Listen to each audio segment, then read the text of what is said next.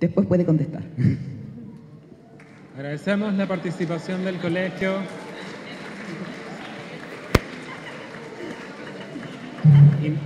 Instituto Marítimo, muchas gracias. Vamos a continuar.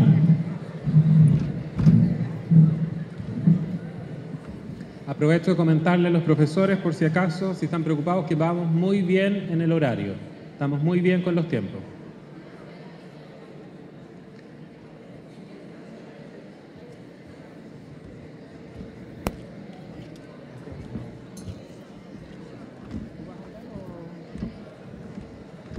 Ok, les pedimos un poquito de orden, de silencio, para poder escuchar ahora el Colegio San Antonio.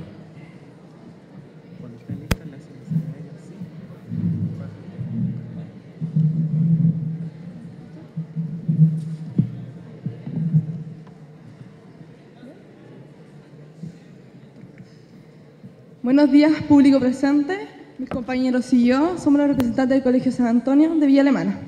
Lo que nos convoca hoy día parte con la aprobación de la Ley 20.568, el voto voluntario en inscripción automática, el que consiste en que aquellos que tengan los requisitos básicos como para votar serán inscritos automáticamente en el servicio electoral para poder sufragar cual sea su voluntad.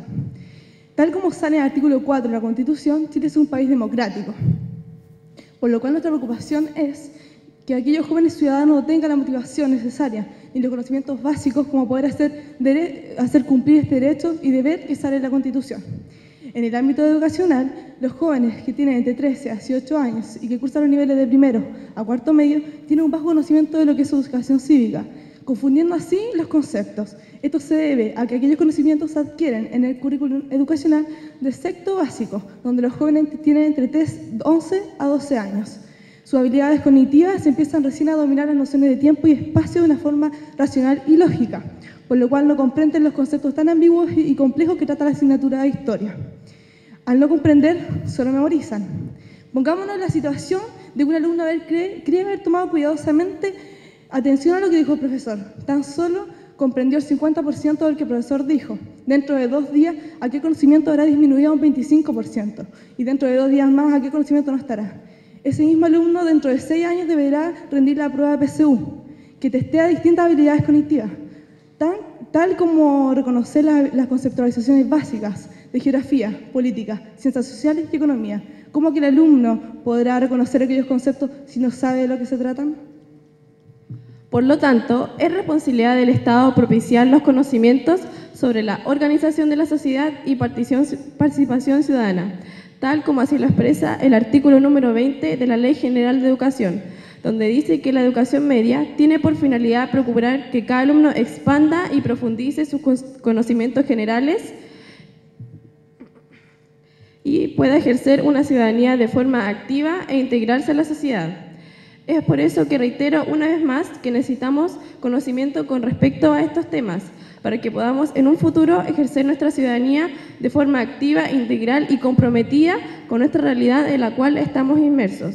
Es así como también en el artículo número 30, en el ámbito social y personal, en la letra D, donde cada alumno debe conocer y apreciar la vía democrática, los derechos humanos, la, institucionalidad, además de, de valorar la participación ciudadana de forma activa, responsable y con conciencia de nuestros derechos y deberes dentro de nuestra sociedad.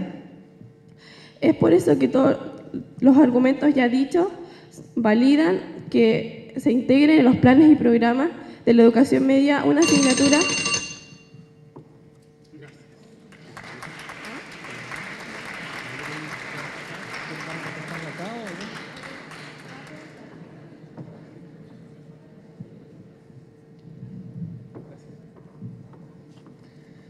Bueno, vamos a ponernos de pie las personas que quieran hacer preguntas. Les recordamos que estamos en directo vía streaming a través de la página web de la universidad www.v.cl y también a través de la página de Delibera www.delibera.cl para que para que le digan a sus papás, a su mamá, compañeros de colegio, si están en recreo, que los pueden ver.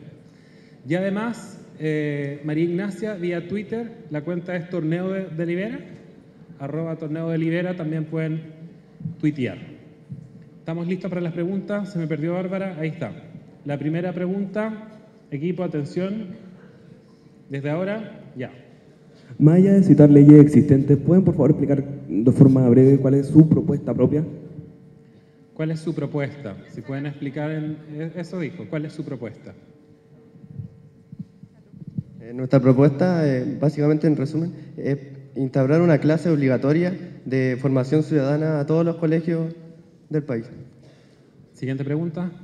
Buenos días. Tengo entendido que hace muy poco tiempo atrás se aprobó una ley que es que ahora en cuarto medio se va a hacer educación cívica, en lo que estaría incluido esto. Entonces me gustaría saber cómo en qué se diferencia su propuesta de esto. Gracias. Ya. Lo que pasa es que, claro, puede que haya un cambio curricular dentro de los planes y programas de cuarto medio, pero esto va a ir enfocado desde primero a cuarto medio, ya que solamente esto se trata en sexto básico. Y no puede ser que perdamos tantos conocimientos en, uno, en nuestros años que son muy importantes para luego ejercer nuestra ciudadanía en un futuro. Eh, bueno, buenas tardes. Eh, no sé si oí muy bien al tema que ustedes están hablando, pero por lo menos fue lo que escuché. Ustedes mencionaron la inscripción automática, pero ese proyecto ya está. La inscripción automática ya está en marcha y probablemente para las próximas elecciones presidenciales ya está lista.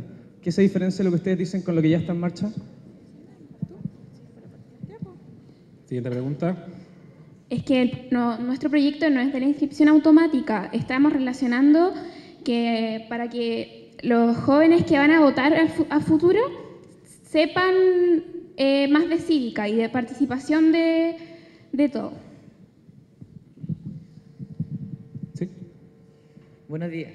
Mi pregunta es, al tratar de enseñar educación cívica a niños tan pequeños como sexto básico, ¿no crees que los profesores pueden adoctrinar a esos niños orientándolos hacia cierto sector político? Respuesta.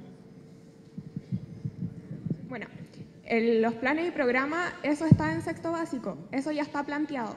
Lo que nosotros queremos plantear es de primero medio a cuarto medio, y es de ahí empezar a crear la form- la- formar los ciudadanos, porque ahí es cuando uno empieza a tomar conciencia.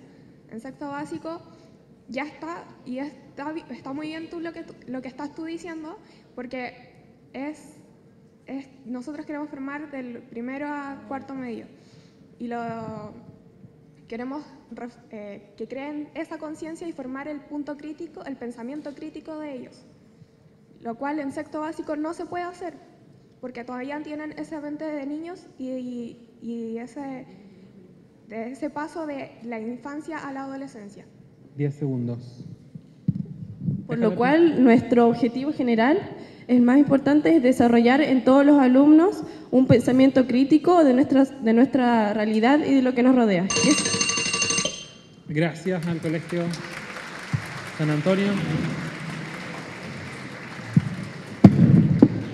Los invitamos a pasar, por favor.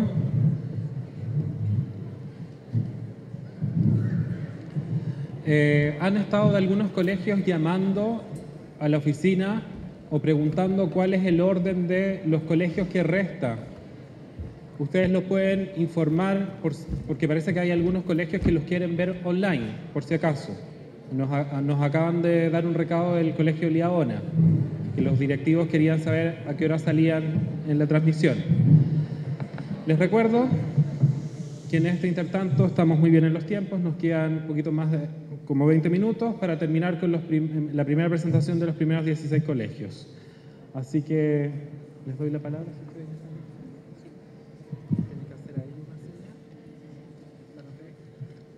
Buenos días a todos los presentes.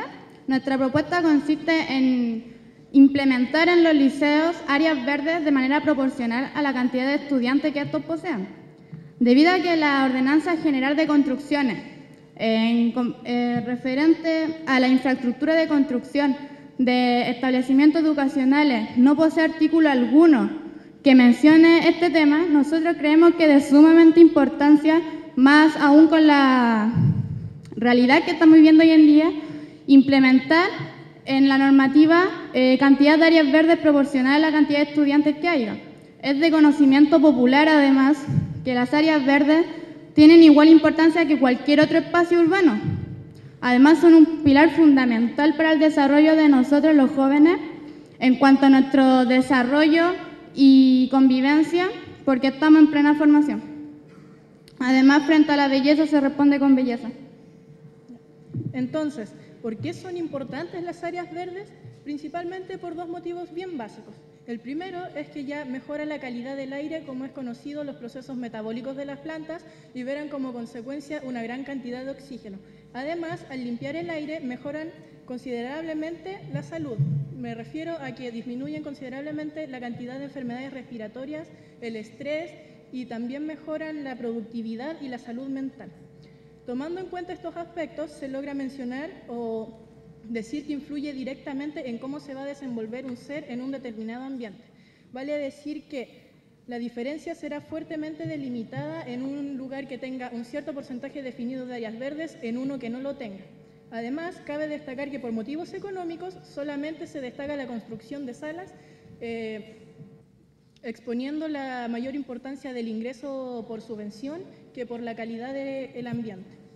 Además, este, este, proyecto no tiene otra finalidad más que la implementación de un lugar estudiantil o un entorno más grato, con el cual sea posible incentivar también una conciencia ecológica para las futuras generaciones y que no solamente las áreas verdes constituyan parte de un entorno estudiantil privado, ya que la mayor cantidad de jóvenes son de estrato socioeconómico bajo y medio, los cuales solamente pueden optar a sistema de educación público, el cual solamente se soslaya la implementación de áreas verdes.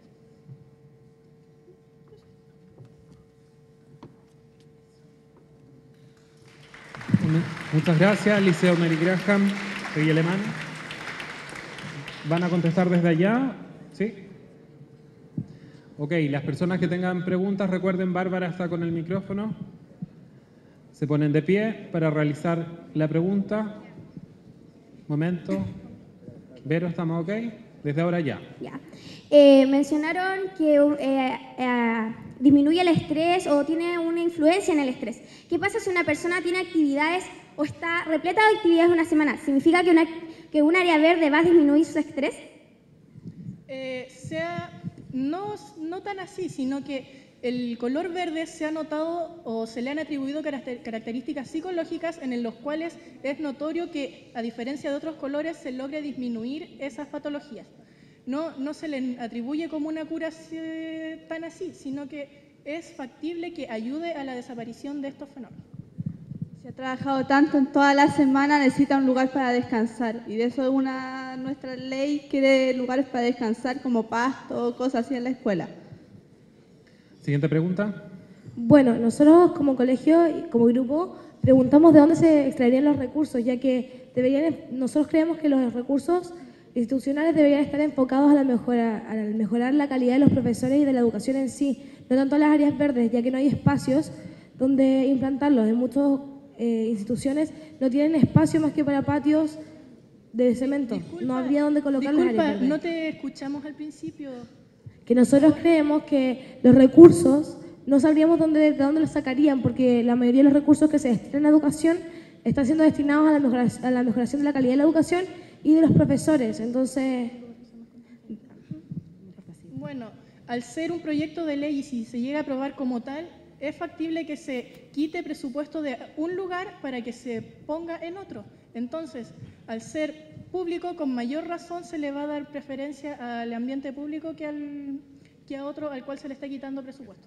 Además, por otro lado, lo importante es que se propicien los espacios, porque esto se trata de, de generar también una conciencia ecológica. Entonces, en conjunto, los establecimientos podrían crear brigadas ecológicas, por ejemplo, que ayuden a, a generar estos espacios, porque esto motiva a los alumnos. Eh, ustedes hablan de áreas verdes, ¿no es cierto? Eh, ustedes dijeron áreas verdes en proporción a la cantidad de alumnos.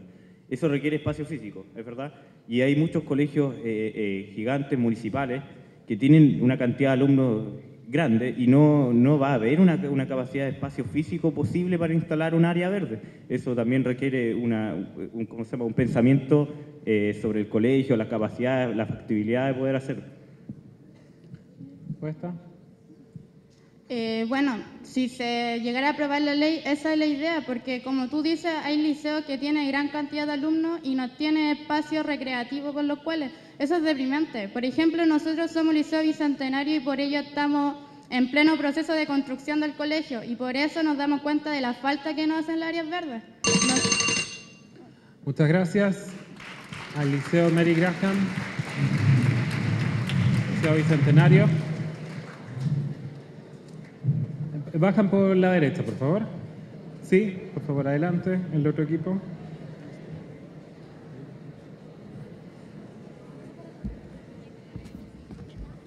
Sí, adelante el Colegio Fundadores de la Calera.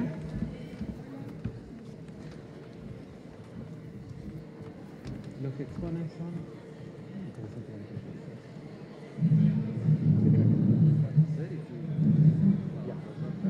Tú le haces así a la Verona para que se vea la...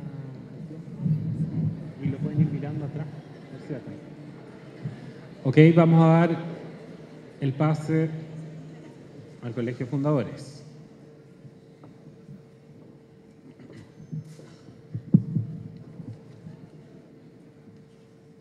Buenos días, compañeros de Delibera. Nosotros somos el equipo del Colegio Fundador de La Calera, con el tema económico minero, la legislación del litio.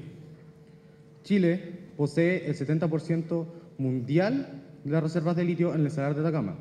Con esto, Chile puede llegar a ser una gran potencia mundial, ayudando en ámbitos de educación, salud, al mejorar eh, a mejorar eh, la educación, forzando, bajando el arancel y forzando eh, profesores de calidad. El litio es un mineral que está considerado el oro blanco, ya que es un mineral no contaminante.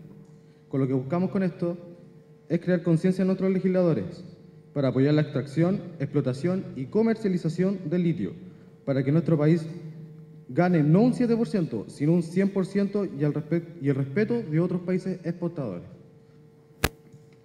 Eh, buenos días, me llamo Cristian Morales. Eh, ustedes se preguntarán qué es el litio y de qué manera este blanco mineral puede eh, beneficiarnos como país.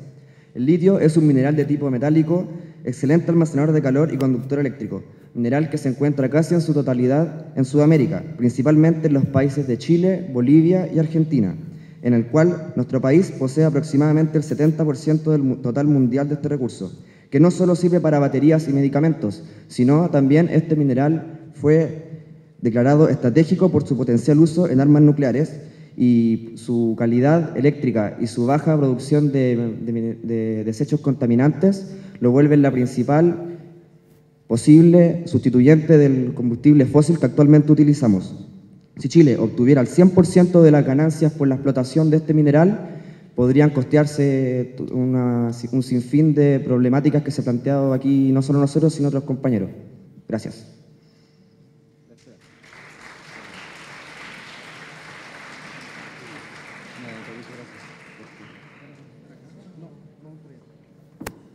Perfecto, las preguntas. Rubén Castro tiene una pregunta, acá hay otra pregunta al medio y después hay una tercera en el otro panel, Bárbara Porceta. Los tiempos, Verónica, por favor. Eh, bueno, mi pregunta va dirigida de dónde esperan conseguir los recursos para poder extraer y trabajar el litio sin aporte de una empresa privada y también la especialización de las personas, lo que es maquinaria y todo lo que todo lo que significa extraer el litio Ok. y trabajarlo. ¿La respuesta? Bueno, la principal idea es crear una empresa encargada de la extracción y la comercialización del litio y también de una pequeña o bueno, en realidad grande inversión de parte del Estado, pero que luego, eh, prontamente sería recuperada gracias a la ganancia que el litio sería. Siguiente pregunta. Bueno, primero que todo, eh, felicitarlos, me parece muy buena la propuesta, eh, pero una consulta más específica. Eh, espero que todos acá sepan lo del tema del litio y que está siendo muy contingente, pero en específico yo traté de investigar, pero ¿a quiénes actualmente le pertenece el litio? Y si le pertenece a privados que tienen el terreno y que tienen el mineral, ¿cuál es el plan para que ellos le pasen el litio a las manos del Estado? Respuesta. Eh, bueno, actualmente el litio está siendo explotado por dos empresas chilenas, pero como hay una gran cantidad de litio, ahora se está viendo una licitación para que vengan empresas tanto extranjeras como nacionales para que lo puedan extraer y la cantidad total que ganen mensualmente a Chile y a su Estado le entregarán el 7%. Siguiente pregunta, un minuto y medio queda. Primero que todo, felicitaciones por su propuesta, creemos que es súper buena, pero eh, ¿no creen que estarían fomentando la inicia- el- la- el o incentivando el uso masivo de armas nucleares? Muchas gracias. Muchas gracias. ¿Qué dijo? El hecho masivo de...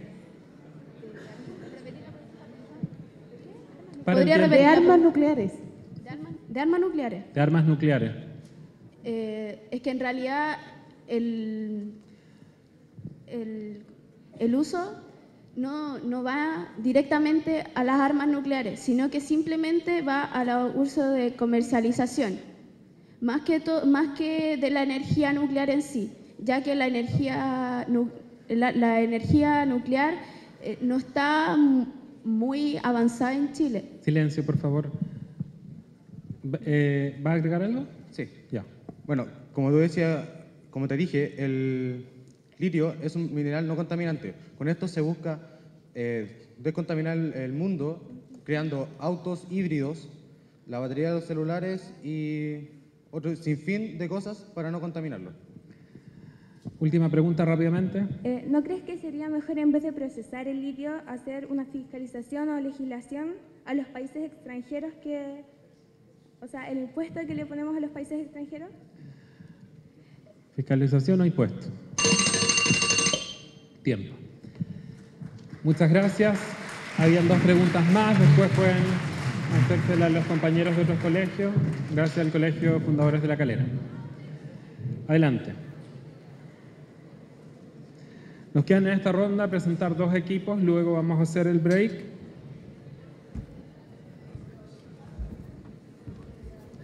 Vamos a ir con el colegio de Kingston School para finalizar esta primera etapa con el seminario San Rafael Valparaíso. Luego de eso hay un break y de media hora y volvemos a este mismo recinto. Una indicación para los presidentes.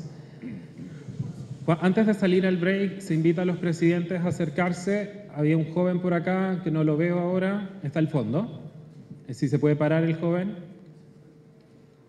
Miren, todos los presidentes al fondo del escenario. Él les tiene una, una consulta que realizar por parte de la biblioteca, así que eh, antes de salir al break, a los presidentes se los invita a pasar cerca del escenario para que no se vayan a ir. ¿Estamos preparados, equipo? ¿Sí? Dejamos con ustedes entonces a The Kingston School.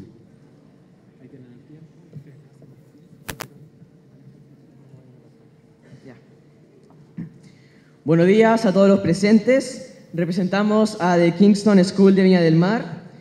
Mi nombre es André Lluvar y junto a mi compañero Sebastián Llano daremos a conocer por qué es importante abordar un tema como la obesidad en una discusión a nivel nacional. El incremento de la tasa de obesidad infantil en Chile durante los últimos años es un tema que, que provoca tanto a las autoridades como a la población.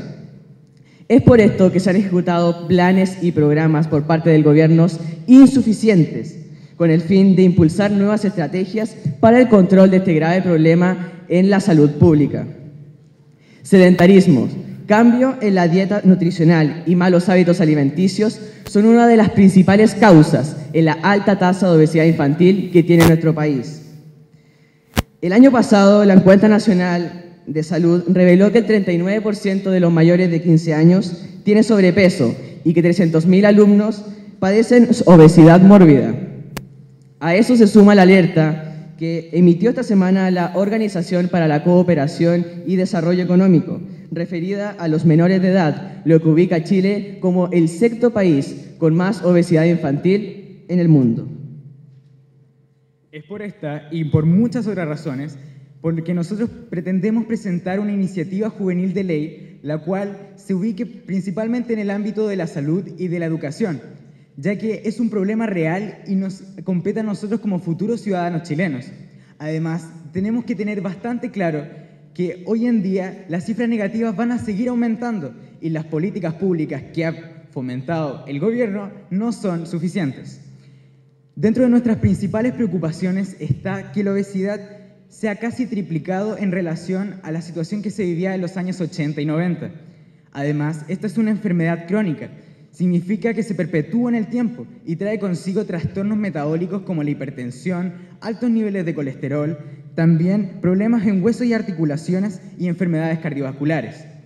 También esta puede disminuir el autoestima de los estudiantes, significando un- una merma en la habilidad de desarrollarse socialmente y por ende también provocar trastornos psicológicos como la bulimia, la anorexia y también la depresión. Por último, nos cabe señalar que el rendimiento académico de los estudiantes también se ve disminuido debido a que la obesidad, debido al poco flujo de oxígeno que se produce en el cerebro, provoca también cansancio, déficit atencional, insomnio y también eh, dolores de cabeza. Es por esto que nosotros buscamos a grandes rasgos solucionar la problemática de forma paulatina pero eficaz, cambiar la mentalidad del país bajo el lema mente sana, cuerpo sano y inculcar el ejercicio como algo habitual. Muchas gracias.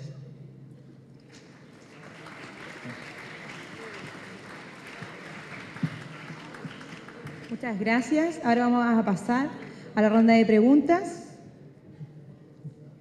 ¿Quién va a partir? Acá, ya. Eh, me gustaría saber en qué en verdad consiste su, eh, su propuesta, porque el programa Elige Vivir Sano ya está planteando lo mismo que plantean ustedes y me gustaría saber la diferencia que tiene con ese programa. Respuesta, por favor. Claramente, el gobierno también ha implementado ciertas soluciones ante el conflicto, pero no podemos dejar en claro que éstas hayan tenido realmente una resolución o una, un claro cambio en cuanto a, las eh, a los hábitos que interpreta la sociedad. Es por esto que nosotros buscamos cambiar esto a través de una reforma en los planes y programas, siendo que los alumnos, a partir de, su enseñanza elemental, involucren el ejercitamiento y también los hábitos alimenticios y el conocimiento de su cuerpo, todas aquellas actitudes que sirvan para cuidar su propio cuerpo y su mentalidad sean inculcadas desde pequeños y esto se evalúe y se traspase de generación en generación para evaluar y sacar de raíz el problema de la obesidad. Si es que no lo hacemos así y tomamos medidas a corto plazo, pero que solo tienen conciencia y un- una repercusión inmediata y llamativa, no se va a solucionar el problema. Siguiente pregunta. ¿Qué, qué tipo de, de propuestas van a hacer para mejorar, por ejemplo, la calidad de alimentación y la, la frecuencia que uno tiene de deporte? Por ejemplo, en, en muchos sectores, por ejemplo, yo vivo en Forestal, un, un sector donde la municipalidad no- nos ha dado un sector, por ejemplo, que es el polideportivo, que, que es para hacer deporte. En, en en otros sectores, ¿qué se podría hacer para mejorar eh, est- esta situación? Respuesta, por favor. Claramente, nosotros no podemos ponernos frenos ante estas situaciones. Debemos pensar que quien va a querer practicar este ejercicio y va a sentir que está capacitado para solucionar y traspasar esta situación que le impone barrera en cuanto a su salud, va a poder ser superada siendo cuando él ponga parte de sí. No podemos estar buscando los errores mientras que tenemos los elementos necesarios como para salir adelante. Gracias. Hola, bueno, tu principal eh, proyecto era el tema de la obesidad, pero el tema de la obesidad también se mejora con el tema de alimentación. Y está comprobado que alimentarse saludablemente es mucho más caro que hacerlo como un comida chatarra. ¿Qué medidas van a tomar para enfrentar ese problema? En primera instancia, se tiene que educar a la, a la sociedad, se tiene que dejar claro cuáles son los regímenes eh, sanos que debería seguir como para superar esta instancia. Si no estamos informados y realmente no sabemos cómo actuar, en ningún momento vamos a poder sobrepasar esto. Es por eso que tenemos que dejar claro cuáles son las conciencias, pero en este minuto no estamos evaluando en sí la propuesta que vamos a dar. Esa es la instancia de- siguiente, pero ya como dijimos, estamos dando las pautas generales en cuanto a nuestra temática y estamos dejando claro que debemos superarlo con un cambio de conciencia, una mentalidad sana. Tampoco estamos buscando que Chile se convierta en un país atlético, pero sí sano. Gracias, se terminó el tiempo. Damos las gracias al Colegio Quintown School y hacemos pasar al Colegio Seminario San Rafael de Valparaíso. Mientras se prepara el Colegio Seminario San Rafael, Valparaíso, algunas indicaciones. Todos tienen la pulsera puesta en las manos, ¿sí? Porque después en el break les van a, van a estar viendo si tienen la pulsera para poder entregarles un- una colación, por si acaso. Entonces, las dos indicaciones antes de presentar el Colegio Seminario San Rafael. Se acercan los presidentes al escenario y luego van saliendo en forma ordenada, los van a ayudar los alumnos de la universidad que están trabajando con nosotros para que puedan salir por la derecha o por la izquierda a ver el tema de las colaciones. Seminario, ¿están listos? Ok.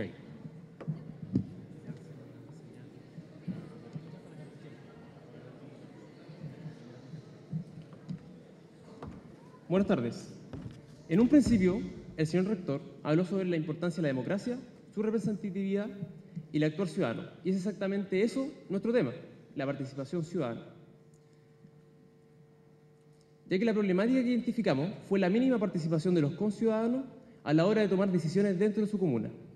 Y la solución que nosotros ofrecemos es la creación de un plebiscito vinculante. Esta afirmación de la problemática la hacemos ya que realizamos una encuesta en Valparaíso sobre diferentes temas de contingencia que son aplicables a un plebiscito. Y resultó que independiente de la opinión puntual, un 97%, sí, un 97% de los encuestados está de acuerdo con que, cito, abro comillas, su opinión fuese tomada en cuenta a través de un plebiscito vinculante.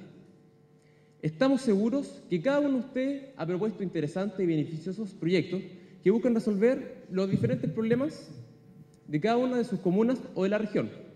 Y nuestro proyecto busca ser una herramienta y estar al servicio de sus, iniciativas o de las que puedan surgir para que éstas tengan un apoyo popular innegable, representativo y de importancia. Y me detengo en este punto porque es importante mencionar y explicar ¿A qué me refiero con importancia?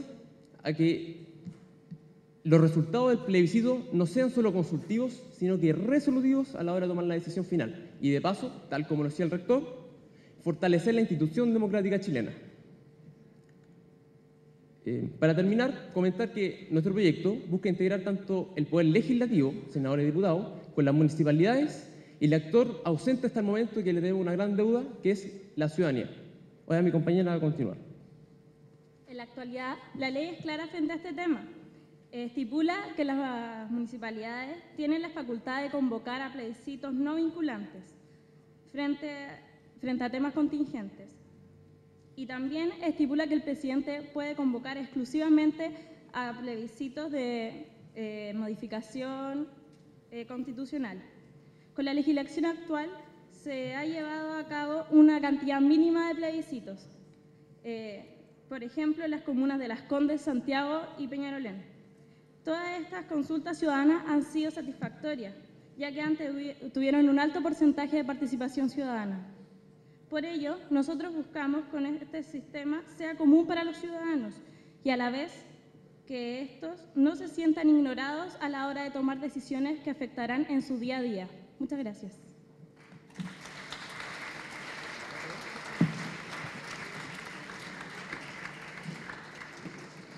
Vamos a dar inicio a la ronda de preguntas. Estamos listos. Eh, bien, ustedes buscan fortalecer la institución democrática chilena. Mi pregunta es ¿cómo? La respuesta, por favor. Eh, bueno, no sé si me escuchaste, creo que quedó bastante claro, que es a través de un plebiscito vinculante. ¿A qué me refiero con esto? Se le hace una consulta a la gente, pero esa consulta, lo importante es que no es, valga la redundancia, solo consulta, sino que es resolutivo sobre un tema en particular. Por ejemplo, en el caso de nosotros, nosotros trabajamos en un principio con el tema del patrimonio cultural de Valparaíso. Somos una ciudad patrimonio de la humanidad. Y una de las preguntas, por ejemplo, era, para que tú entiendas a qué se trata el plebiscito, si se deben construir edificios en altura o no, en los cerros o sectores patrimoniales. A eso apuntamos nosotros. Gracias. La siguiente pregunta. Buenos días. Mi pregunta es, ¿tú crees que deberán darle una labor resolutiva a estos plebiscitos, siendo que aún existe el cohecho electoral? Por favor, la respuesta.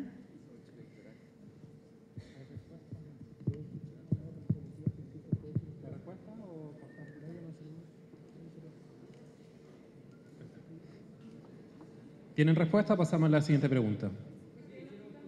Siguiente pregunta. Eh, si le damos un carácter resolutivo a la opinión que daría la población mediante este plebiscito, ¿cómo esto opaca la función que tiene el Congreso? Ya que si la, población vota y da carácter resolutivo a esta votación, eh, ¿en qué queda el Congreso como institución que vota la normativa y las leyes judiciales? Gracias. ¿Respuesta? Yo creo que para nada son incompatibles, de hecho se, se potencian. ¿Por qué? Eh, como yo mencioné en, en el discurso, entre comillas, eh, las leyes son a nivel nacional, el sistema legislativo funciona a nivel nacional. Y lo que nosotros buscamos con este plebiscito, que es comunal, es resolver los problemas específicos de cada una de las comunas, según el marco legal lo permita. Siguiente consulta, ¿hay alguna consulta más? Sí, ¿cómo se supone que ustedes van a crear una motivación en las personas, por ejemplo, en este caso en los, en los jóvenes, para que voten? Ah, y otra cosa, de, se supone de que su opinión, ¿cómo ustedes cercioran de que su opinión va a ser realmente escuchada? Sí, bueno. La verdad creemos como grupo que nosotros no podemos seguir en Chile basándonos en la política de la desconfianza. Se ha demostrado, señores, durante todo el año pasado y eh, varios años anteriores, que los jóvenes están preocupados y motivados por la política. Ustedes mismos están aquí en este momento. Entonces, además la ciudadanía marca interés sobre los temas que le competen. Y yo creo que va a, haber- va a ser exitoso en el caso que se apruebe este plebiscito vinculante. Última pregunta, si alcanzan. Respondiendo un poco a mi compañero Carlos Cauciño, que la pregunta quedó un poco en el tintero, eh, yo creo que el plebiscito es totalmente factible e independiente del cohecho, porque si nosotros hablamos de cohecho, estamos incluso Gracias. Apelando a la elección de alcalde y senadores.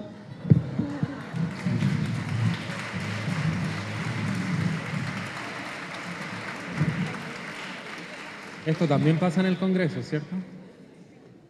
Bueno, les agradecemos la presentación al Seminario San Rafael y repetimos las indicaciones. Para empezar, hay algunos equipos que todavía no se han tomado la fotografía oficial, así que afuera van a tener, en el intertanto del break, eh, tiempo para hacerlo. Se invita a los presidentes que se acerquen al escenario. Se recuerda que los equipos que se presentan después del break tienen que estar preparados. Eh, los equipos que vienen a continuación son el Colegio Nacional de Limache, Colegio Numancia, Colegio Apumanque. Esos son los tres primeros para que estén atentos. Y finalmente con el, el tema de la pulsera, ahí pueden, afuera hay jugos, hay café, hay té, algunos unos sándwiches, brownie, para una, un, un break. Nos vemos acá en 30 minutos. Pueden realizar los patrocinios. Son autoridades de elección popular y también son autoridades eh, de gobierno eh, que hayan sido designadas por el presidente, llámese intendentes, seremis, etc. No son a veces otro tipo de autoridades que uno se puede tender a, a- a confundir, así que si tienen dudas nos pueden preguntar antes de subir los patrocinios. Una vez finalizado el encuentro y ya a partir de mañana, ustedes van a tener que tener sus claves de acceso. Yo no sé si alguno de los eh, secretarios de, los colegios ha revisado si su clave de acceso está funcionando. ¿Hay alguien que la haya revisado? ¿Sí? A mano alzada, ¿cuántos secretarios tienen la clave activada y la re- revisado? 1, 2, 3, 4, 5, 6, 7, 8, 9, la mit- un poquito menos de la mitad la ha revisado. ¿El resto no la ha revisado?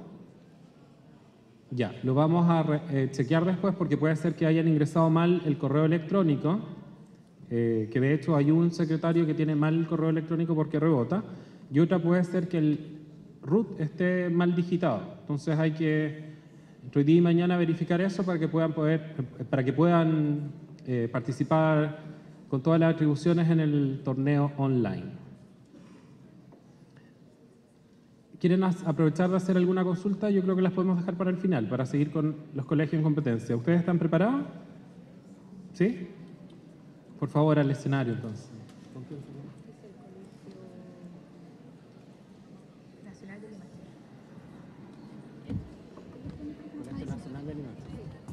A continuación vamos a dejar con ustedes al Colegio Nacional de Limache. Se prepara el Colegio Numancia.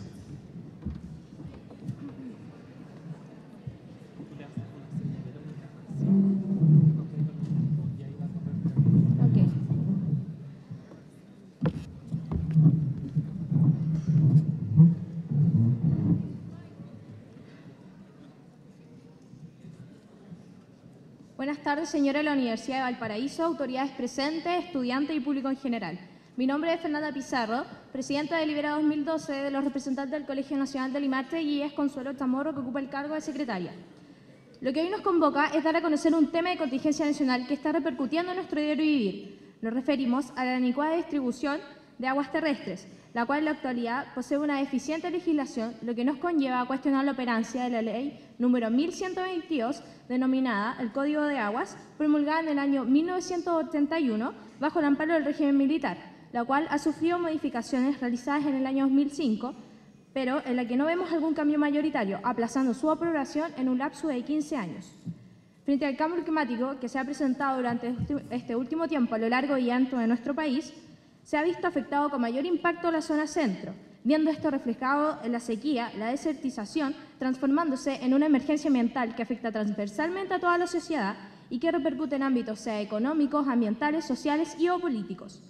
No podemos quedar exentos de este tema, ya que es importante destacar que el 3% aproximadamente del agua mundial corresponde a agua dulce y que empresas como Coca-Cola ocupan 3 litros de agua por cada litro de bebida que estos producen.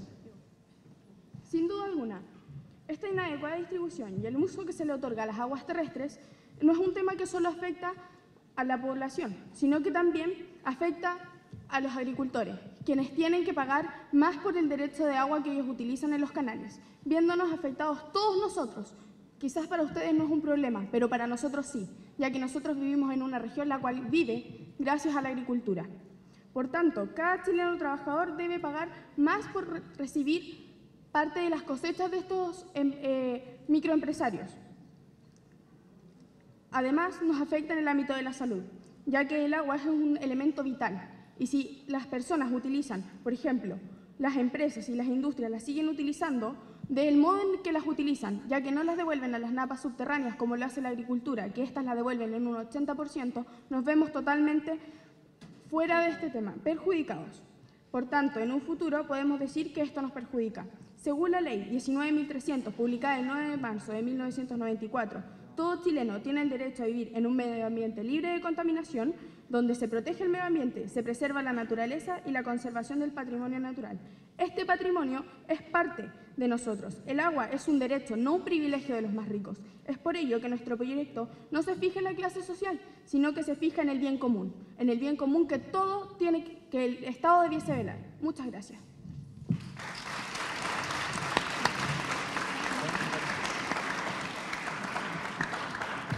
Agradecemos al Colegio Nacional Limache. Vamos a iniciar la tanda de preguntas. La misma dinámica, se ponen de pie quienes quieran preguntar.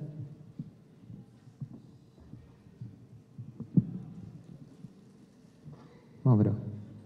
Buenas tardes. Eh, considerando su, su propuesta, ¿cómo planea solucionar este problema? Buenas tardes. Eh, bueno, nosotros tenemos, eh, se refleja de dos maneras eh, las posibles soluciones a este problema, a la ineficiencia en la distribución del agua. Una sería hacer reforma en el código de agua, ya comentado, que posee bastantes falencias, que nosotros, bueno, no la vamos a comentar ahora por el tiempo, y que este código no ha sido reformado en los cual- 30 años en que ha estado en vigencia. Eh, para complementar lo que mi compañero dijo, eh, además se pueden plantear proyectos los cuales estén dirigidos a los sectores con mayor escasez de agua, eh, ya sea por medio de embalses, los cuales logren eh, sustentar de alguna manera la, la eficiencia de agua existente. Se agradece la respuesta. Eh, nuestra pregunta es, ¿solo las industrias contaminan el agua o también los agricultores con el uso de pesticidas y plaguicidas? Disculpa, ¿puedes repetir la pregunta?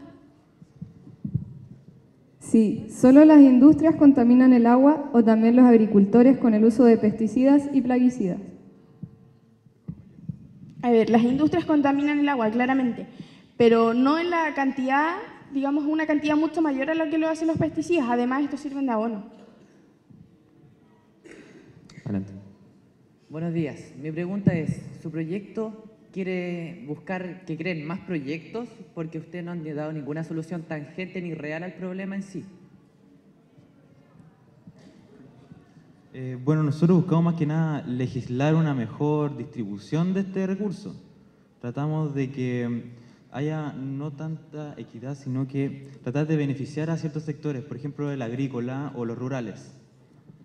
Y que también el labor del Estado, por ejemplo, también eh, tenemos una como solución también la fiscalización del Estado, que ayude a, a esta mejor distribución del agua, de este recurso. Buenas tardes, aquí atrás. Eh, quería preguntar de qué manera afectaría su iniciativa a la producción mediante represas, por ejemplo el proyecto Ireicen de energía eléctrica, ya que el mal gasto, si podemos llamarlo así, de Coca-Cola es para producir un alimento. ¿Cómo se traduce esto en la producción energética del país?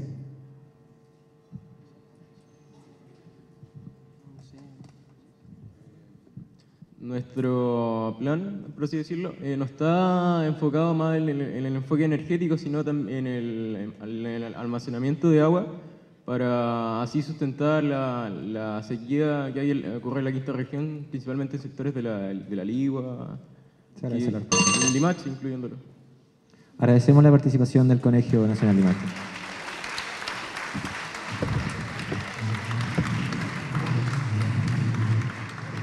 Dejamos con ustedes al Colegio Numancia.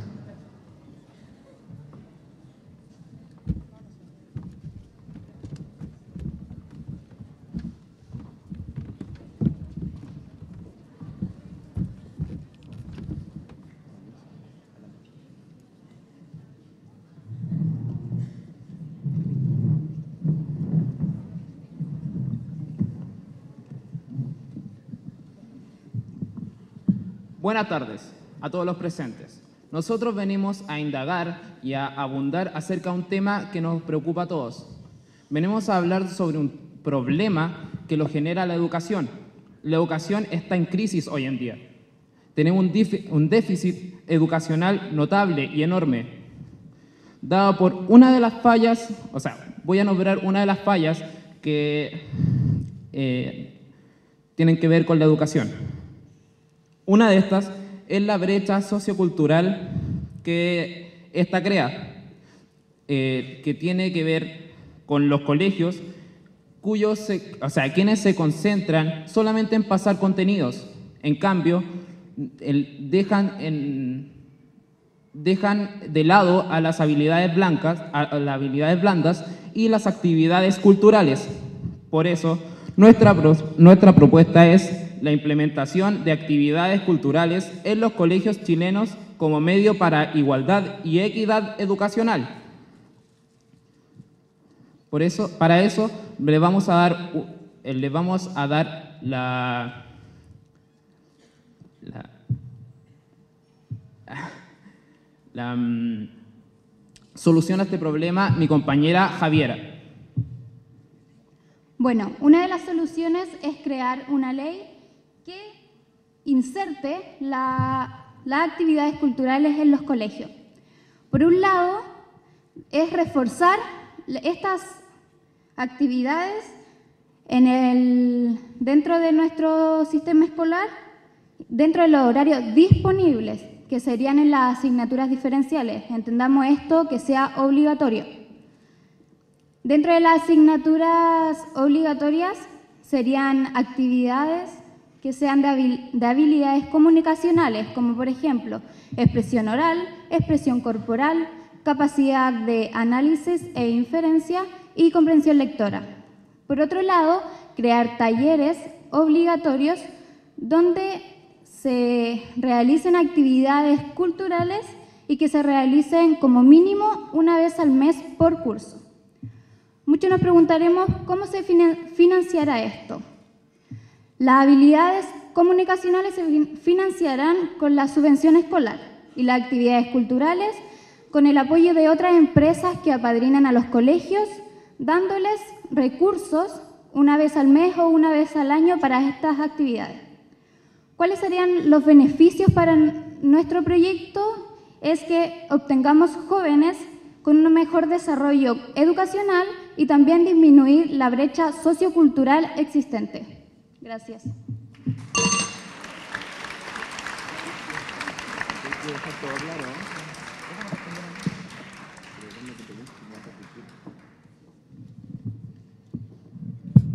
Comenzaremos con la ronda de preguntas.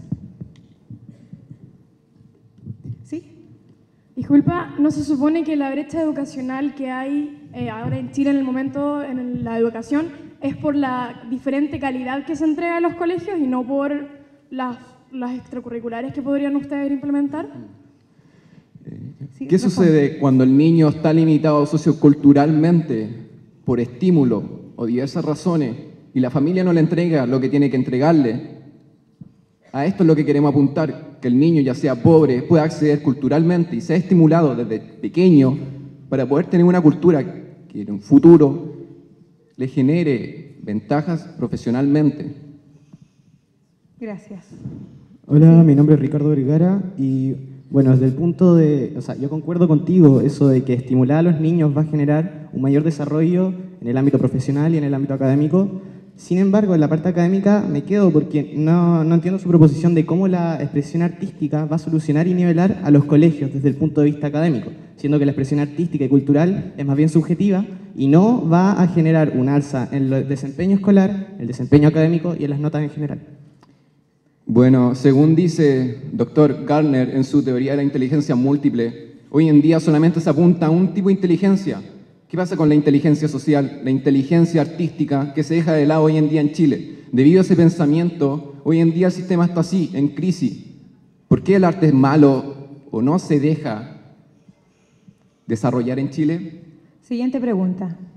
Hola, soy Fernando Sepúlveda y mi pregunta va dirigida a qué tipo de actividades se realizarían, porque ya existen varias actividades de tipo sociocultural en lo que es sobre todo Chile y Valparaíso, que es, el, que es patrimonio de la humanidad. Por ejemplo, el Fórum Universal de las Culturas y de las Artes, en el cual yo participé, fue algo que se hizo a gran escala y fue a nivel mundial, incluyendo países como fue Cusco en Perú, París, en, eh, y París y otros países que son las capitales y culturales de muchos, de muchos lugares del mundo. Gracias.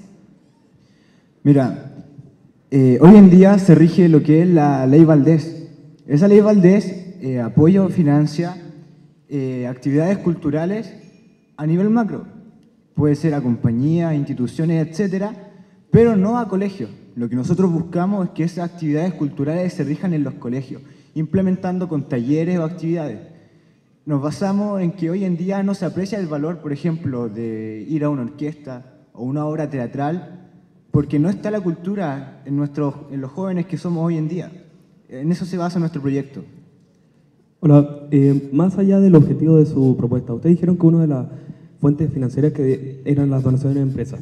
¿Cómo pueden ustedes depender de eso si es que ustedes no pueden obligar a una empresa legalmente a hacer una donación? Mediante diversos beneficios, pagar menos impuestos, como dice la ley Valdés, pero ahora que incluye a los colegios. Gracias. Damos las gracias al Colegio Numancia e invitamos a pasar al Colegio Apumanque. Les aconsejo que al momento de realizar sus preguntas no se acerquen tanto al micrófono, porque si no, no se escucha muy bien, tanto para las personas que presentan como para las personas que preguntan. Adelante. Los expositores.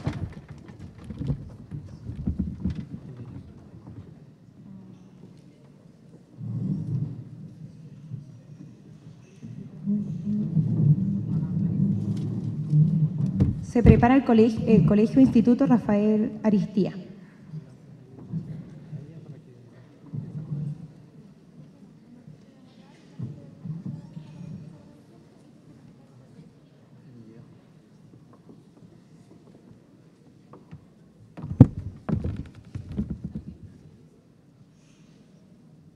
Buenas tardes, público asistente. Nosotros somos el Colegio Apumanque y nosotros les vamos a hablar sobre el fomento y la difusión de la música nacional, un tema relacionado con la educación y la cultura.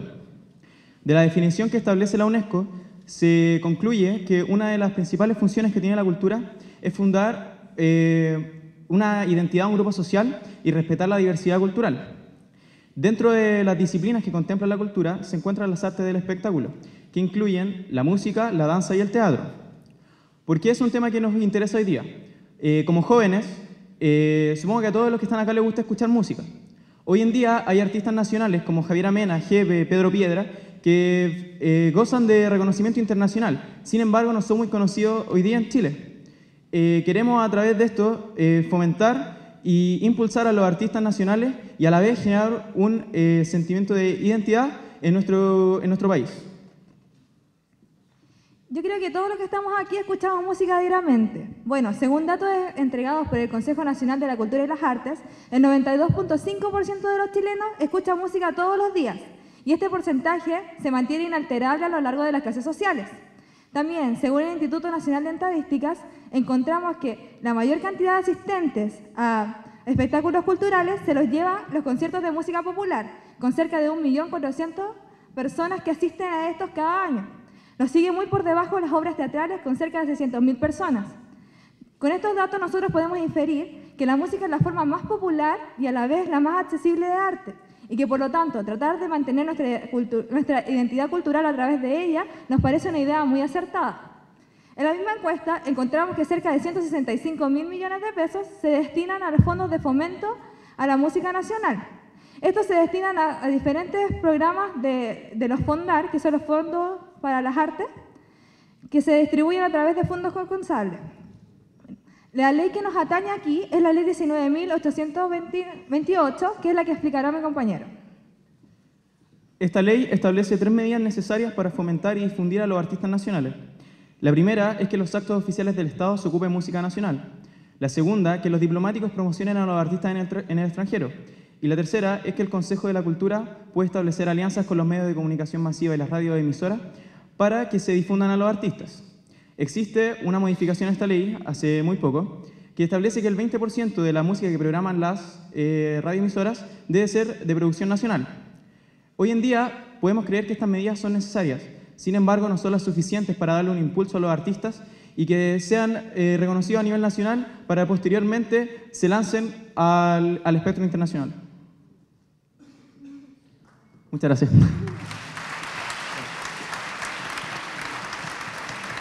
Agradecemos la presencia de exposición del Colegio Pumanque. ¿Preguntas? Iniciamos la tanda de preguntas.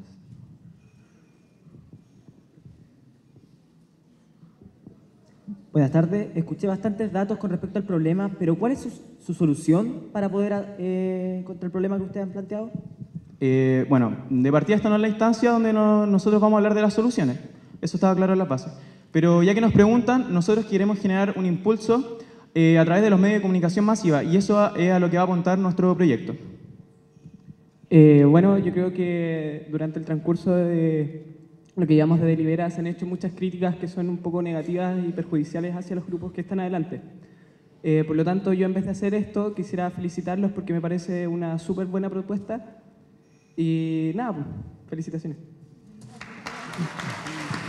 Muchas gracias.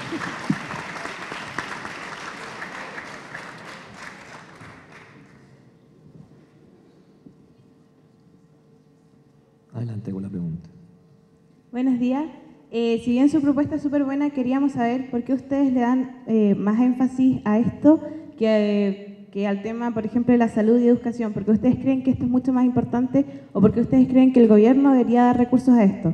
¿Cuáles son sus fundamentos? Muchas gracias. Nosotros creemos que la identidad nacional y toda la base parte de la cultura. La cultura es la forma, la, sociedad es solamente una acción de la cultura. Por lo tanto, tener personas sanas culturalmente ayuda a tener una mentalidad más propensa para poder mejores soluciones a otros problemas.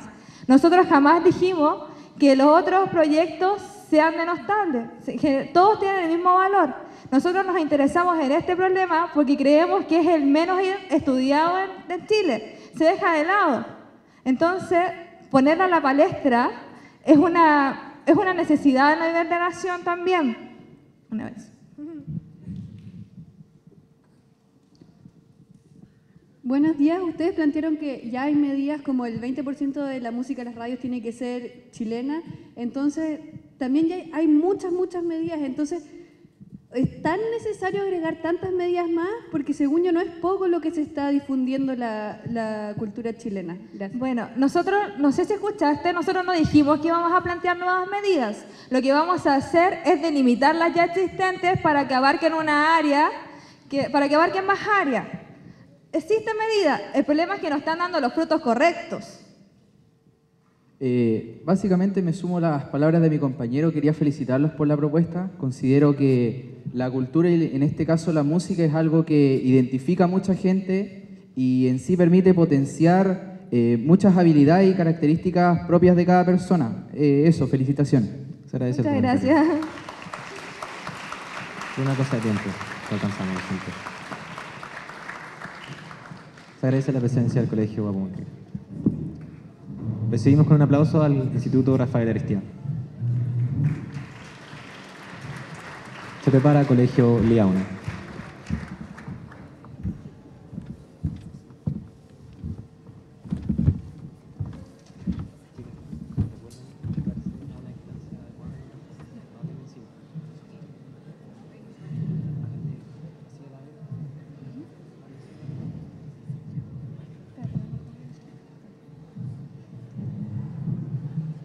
Muy buenas tardes, autoridades, administrativos, compañeros deliberantes y público presente.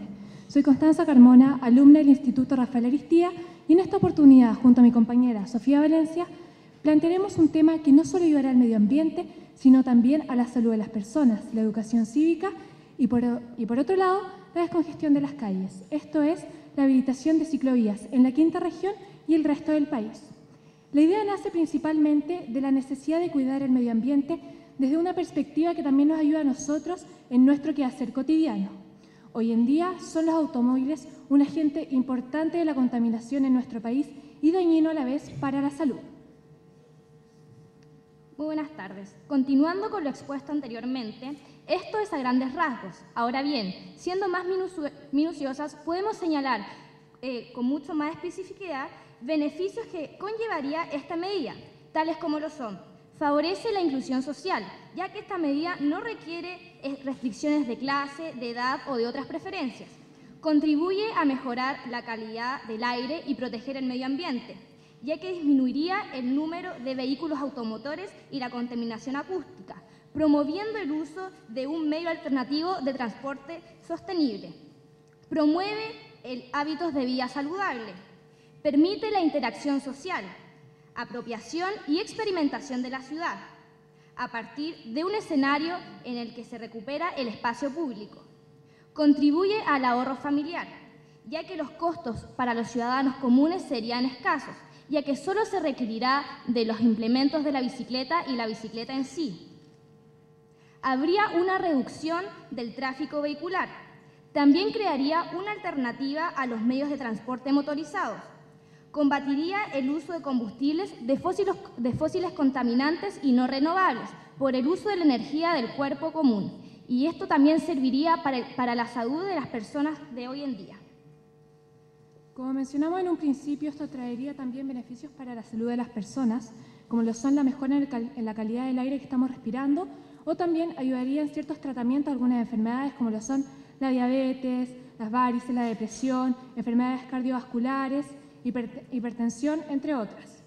Como un punto totalmente aparte, me gustaría señalar que hoy en día existen políticas de ciclovías, pero única y exclusivamente para la región metropolitana. Es por esto que no podemos dejar que las regiones sean menospreciadas. Debemos luchar por políticas que también nos beneficien a nosotros como regiones. Es por todo esto que consideramos que nuestro proyecto es multilateral y traerá incalculables beneficios para la sociedad. Por su atención, muchas gracias.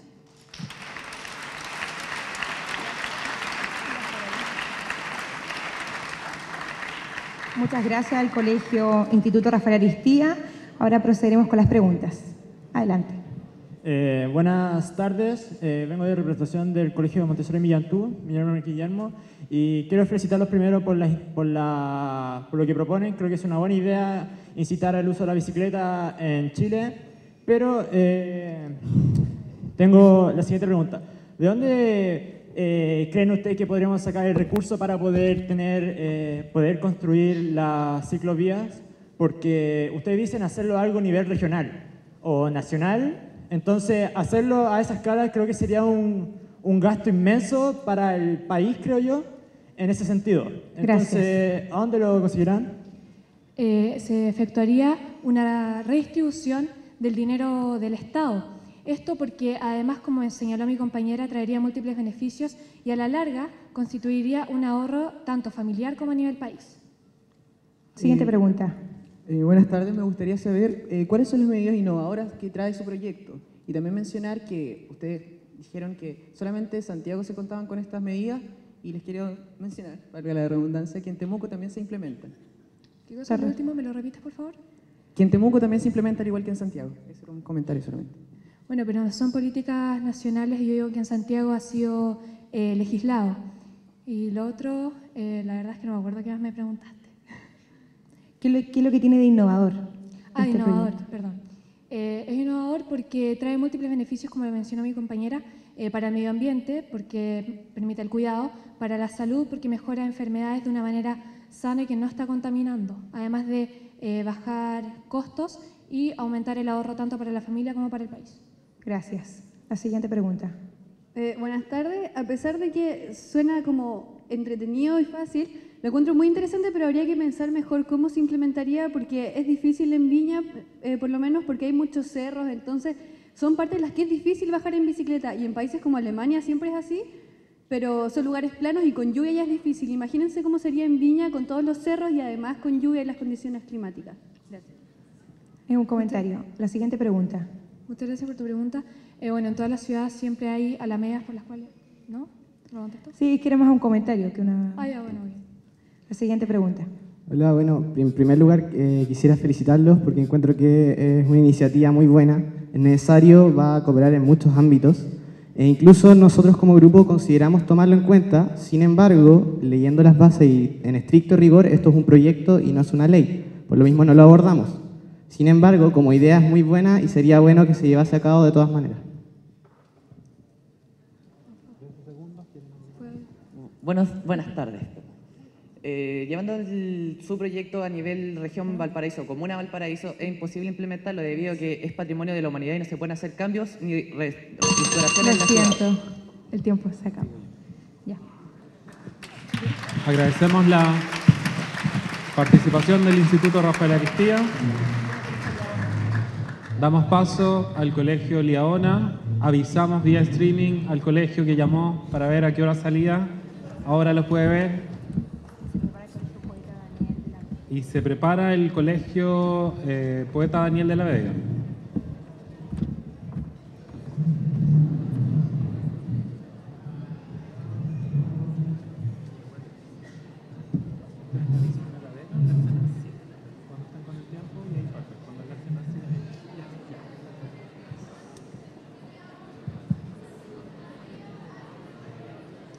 Eh, buenas tardes, público presente. Eh, la, la problemática que nos convoca hoy día es el tema de la... Bueno, en realidad todos sabemos que la educación es un tema que está en boca de todos, a todos nos, nos complica, a todos nos, nos preocupa qué, qué pasará a futuro con nuestra educación.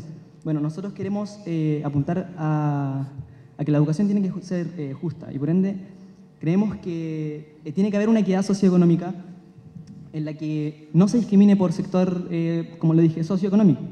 Queremos eh, premiar a los mejores alumnos sin, como lo he dicho ya, sin discriminar el sector socioeconómico que estos se encuentren.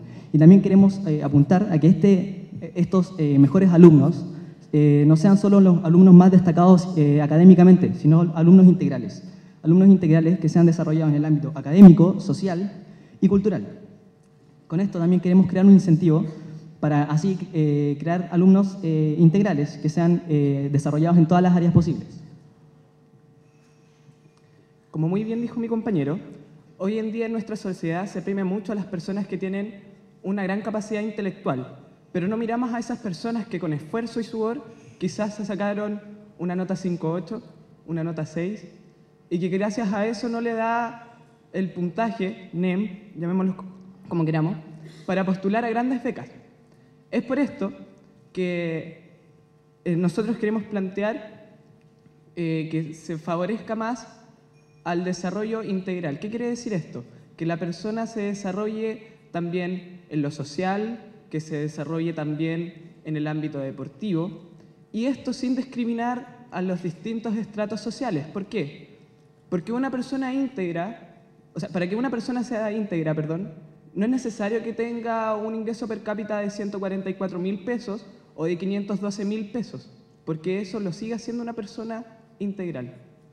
Ahora bien, nos hemos, hemos eh, comparado las distintas postulaciones a las distintas becas que hoy en día entrega el Estado y nos dimos cuenta de que estas, como bien repito, eh, aplauden mucho lo que es la inteligencia intelectual más que otro tipo de inteligencia.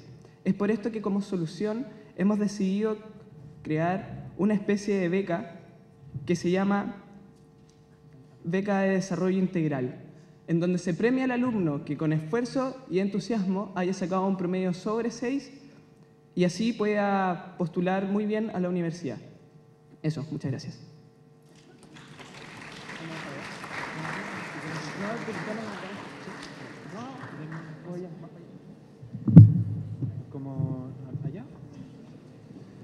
Ok, vamos a dar paso a las preguntas.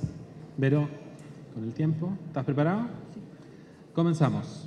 Mi pregunta, va, mi pregunta va hacia lo que ustedes hablaban sobre lo que es el NEM. Si está bien que un alumno puede ser muy sociable o puede estar muy íntegro en lo que es la sociedad en sí, pero esto cómo influiría en lo que sería lo que serían las, rela- las relaciones con las notas, porque obviamente si está hablando de que quieren ganarse una beca por solo por ser sociable, lo encuentro bien, porque una, las personas tienen que ser premiadas por sus distintas características, pero ¿en qué forma se le daría la beca? ¿Gracias a qué atributo?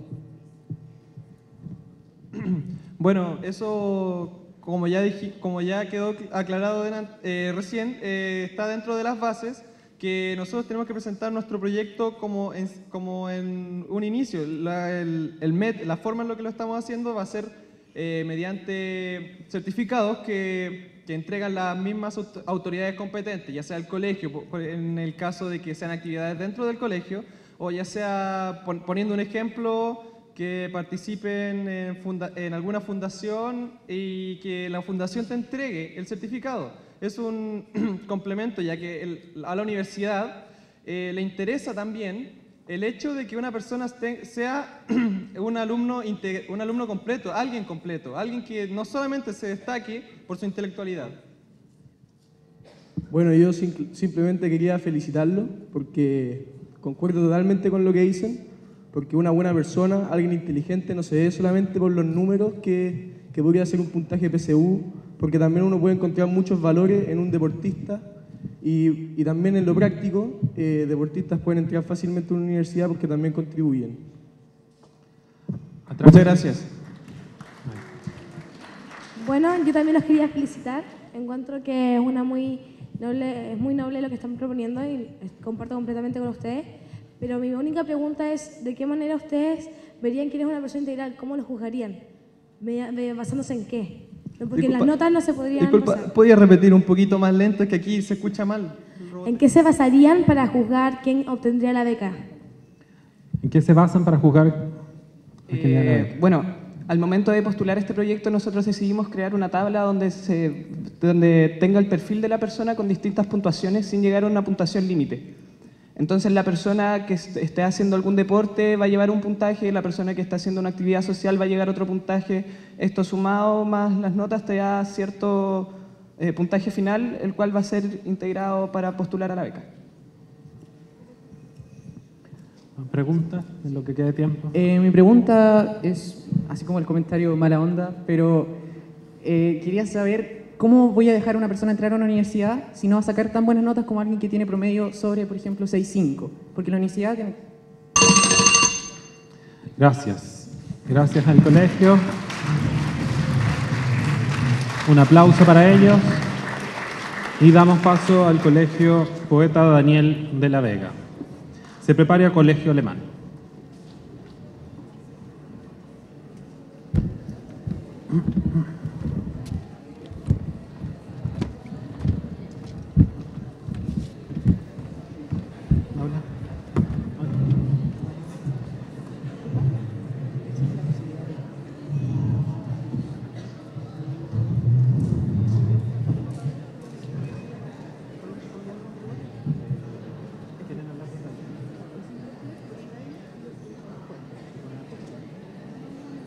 Mira, dos cosas. Uno, ustedes hablan de esto que se escucha igual.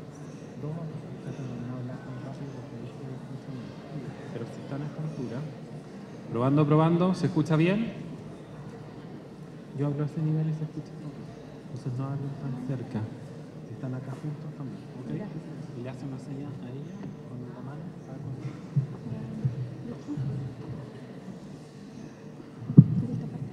Buenas tardes a todos los presentes. Estamos aquí en nombre del Colegio Poeta Daniel de la Vega. Mi nombre es Hernán Ureta y mi compañera Susana Paso. Como miembros activos de esta sociedad, ya a puertas de ejercer nuestra responsabilidad civil, nos resulta preocupante el desequilibrio político-económico existente y cómo ésta afecta directamente al desarrollo personal y social de todos quienes esperan que la educación sea la principal herramienta para construir una sociedad cohesionada e íntegra. Chile es un país considerado emergente por las economías internacionales. Su desarrollo económico se ha mantenido sostenido en un, sostenido en un crecimiento. Pero tan cierto como esto es que nuestro país es también uno de los más desiguales del mundo con respecto al ingreso per cápita. De hecho, para tomar conciencia de lo que ocurre, no está de más revelar que el 20% más rico de nuestra sociedad vive mejor que la media de Estados Unidos, Singapur y Noruega, mientras que el 20% siguiente en términos de riqueza tiene un ingreso promedio igual a países en vías de desarrollo. Finalmente, el 60% de la población restante sobrevive con ingresos similares al promedio de los países más pobres a nivel mundial. También Chile ocupa el primer lugar entre los 34 países que componen la OCDE y posee un índice Gini de un 52%, superando varios países africanos con un men- menor desarrollo económico. Nuestra sociedad está lejos de ser un país igualitario. Son muchas las variables que condicionan el problema que acabamos de escribir. Todas son largamente discutidas en el Parlamento. Hoy pondremos atención en una en particular. Nos preocupa la educación, al igual que miles de estudiantes chilenos que hoy se manifiestan a favor de ella. La educación formal ha sido considerada desde tiempos inmemoriales un, un mecanismo de ascenso y generadora de oportunidades, pero no está cumpliendo con esta función. La desorientación es un tema determinante a la hora de hablar de índices de deserción universitaria, ya que esta es el sustento de que éstas se generen. Sin una orientación adecuada, los jóvenes de enseñanza media se ven en dificultad de desarrollar habilidades innatas que poseen y canalizarlas hacia sus intereses. Bajo este argumento, el creciente índice de deserción universitaria se ve respaldado. Un certero enfoque y habilidades y destreza de los alumnos permitirá construir la base cognitiva necesaria para afrontar de mejor forma una etapa estudiantil en extremo más exigente. Si bien reconocemos que la reforma debe ser global y poniendo atención en los primeros años de enseñanza, nuestra propuesta apunta a reformar el acceso a la universidad, planteando una forma más igualitaria y eficiente de admisión.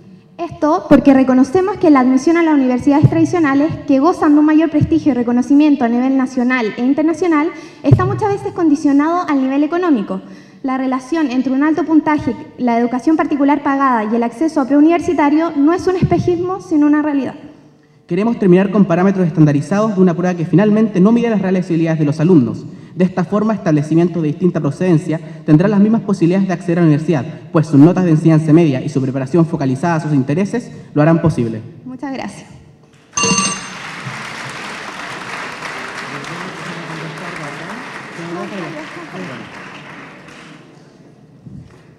Ok, las personas que van a hacer preguntas. ¿Alguien que quiera realizar algún comentario para que se ponga de pie?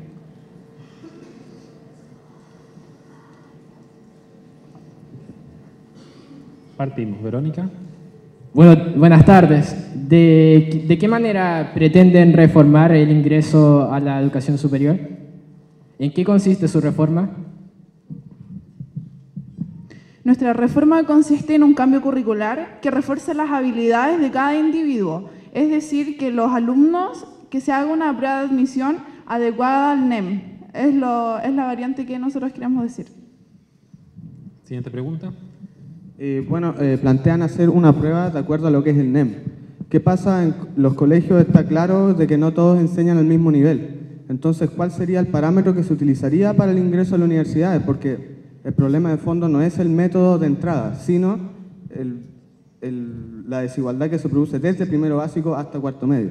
Gracias. Nosotros planteamos que desde primero medio haya una orientación y tomemos desde primero medio el plan común de electivo. Me refiero a esto ya que en primero, eh, llegando a primero medio no todos estamos orientados y sabemos qué ramos tomar. Entonces nosotros a través de la orientación queremos acabar con eso. Disculpa, ¿su objetivo es cambiar la PSU de, en todo o poner así como un eje secundario? A lo que nos referimos es a cambiar, el, a, tomar una forma distinta de, tomar, de hacer uso de los conocimientos adquiridos. Es decir, sería la PCG, le hemos llamado, que es la prueba de conocimientos generales. Es decir, tomar eh, materias como matemática y lenguaje y, eso complementar en su, en su totalidad para el ingreso uni- universitario junto a las ramas específicas que el alumno tomó desde primero a cuarto medio. Es decir, según sus habilidades personales eh, e individuales. Bueno, buenas tardes. eh, acá. Primero que todo, felicitarlos. Me parece muy buena su propuesta. Pero quiero preguntarles, el año pasado, durante todo el año hubo manifestaciones en todo Chile tratando de cambiar y un poco eh, abolir la desigualdad que hay entre personas que entran en las mismas universidades. ¿Por qué creen que su proyecto va a funcionar más que las cientos de miles de personas que marcharon el año pasado? O sea, le encuentro muy buena su... Y, sé que a través de este de Lidera se puede lograr, pero ¿por qué piensan que su proyecto va a ser mejor que los cientos de miles de personas que marcharon el año pasado? Eh, lo que pasa es que nosotros nos vamos a enfocar en las habilidades que tiene cada persona ya- y potenciarlas desde primero a cuarto medio, ya que con las habilidades se puede aplicar a todas las ramas, sea científico o humanista. Hola, buenas. Eh, yo también quisiera felicitarlos porque encuentro eh, justo incluso eso de que se mide el trabajo de lo que uno hace en el colegio. Porque, sin embargo, para llegar a esto que yo considero un, un proyecto a largo plazo y que es muy bueno, necesitamos primero igualar la educación. Como decía mi compañero, la calidad tiene que ser la misma para poder tener los mismos estándares. Si hacemos estándares distintos, se va a complejar mucho el sistema y no va a ser justo. Pero si lo igualamos, podemos hacer su proyecto que es excelente y es muy justo. Un aplauso para el colegio.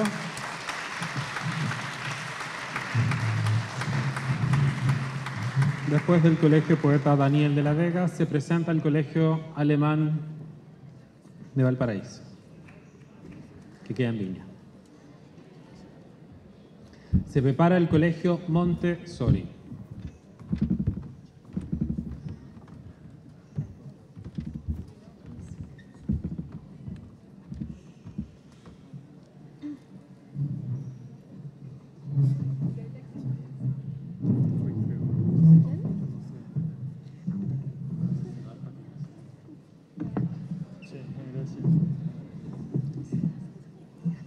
Buenos días, mi nombre es Catalina Espinal y junto a José Manuel Valdivieso estamos aquí para presentarles el principal tema y problemática a la que nos gustaría abocar nuestra iniciativa de ley. Hemos decidido centrarnos en el ámbito social y ciudadano y nuestra principal preocupación es la falta de participación ciudadana y necesidad de compromiso personal con la comunidad. Hoy en día el deber cívico se limita al voto. Vivimos en una sociedad individualista, donde las personas se preocupan únicamente por su bien propio, por su propio progreso. Vivimos circunscritos a la sociedad que nos tocó vivir y muchas veces a las personas simplemente no les interesa conocer la del resto. Me gustaría eh, recordar las palabras del rector de la Universidad de Valparaíso. Debemos no solo entender al otro como competidor em- enemigo, sino que también como alguien con quien tengo que compartir para progresar. Hemos decidido abarcar este tema o esta problemática desde el punto de vista del servicio social. A continuación, entregaré unos datos concretos sobre lo, que es el servicio social en Chile, dictados por el Estudio Nacional de Voluntariado de la Fundación Trascender. En Chile actualmente, solo el 7% de, de la población es voluntaria y asimismo el 8% de los jóvenes entre 15 y 24 años es voluntario. Consideramos que esta cantidad, este porcentaje es insuficiente, considerando que el 15 al 24 de la población de 15 a 24 años corresponde a casi 3 millones de personas. A esto se le suma que un 46% de la población no voluntaria le interesa hacerlo, por lo que hemos decidido convertir el servicio social en un deber cívico, ya que el servicio social es algo que favorece a todos, no solo a los que lo reciben, sino que también a los que lo practican. Pues bien, como mi compañera dijo previamente, puedo destacar dos puntos bastante esenciales, como son la responsabilidad social y la participación ciudadana. Bien, a su vez, los datos que ella arrojó son bastante escalofriantes. Bien, a través de estas estadísticas nos podemos dar cuenta que nos encontramos en una necesidad de asumir este compromiso personal de solidaridad y ayuda por el prójimo para integrar así esta bien vía comunitaria, a la cual llegamos a través del trabajo social. Y bueno, bien así, eh, mediante este trabajo social es donde pretendemos desarrollar un espíritu de responsabilidad, interés y cumplimientos del deber para así llegar al servicio de esta comunidad. Así de esta forma también contribuir a la construcción de una identidad cultural, nacional, regional y local. Y así como bien dijo mi compañera, podríamos convertir este servicio social en un verdadero deber cívico. Así que por eso les llamo a todos a que mediante esto con- contribuyamos con nuestro pequeño grano de arena, enriquezcamos nuestros corazones con la ayuda social y así cambiemos este servicio social en un deber cívico para que podamos ser poseedores de una constitución solidaria. Muchísimas gracias.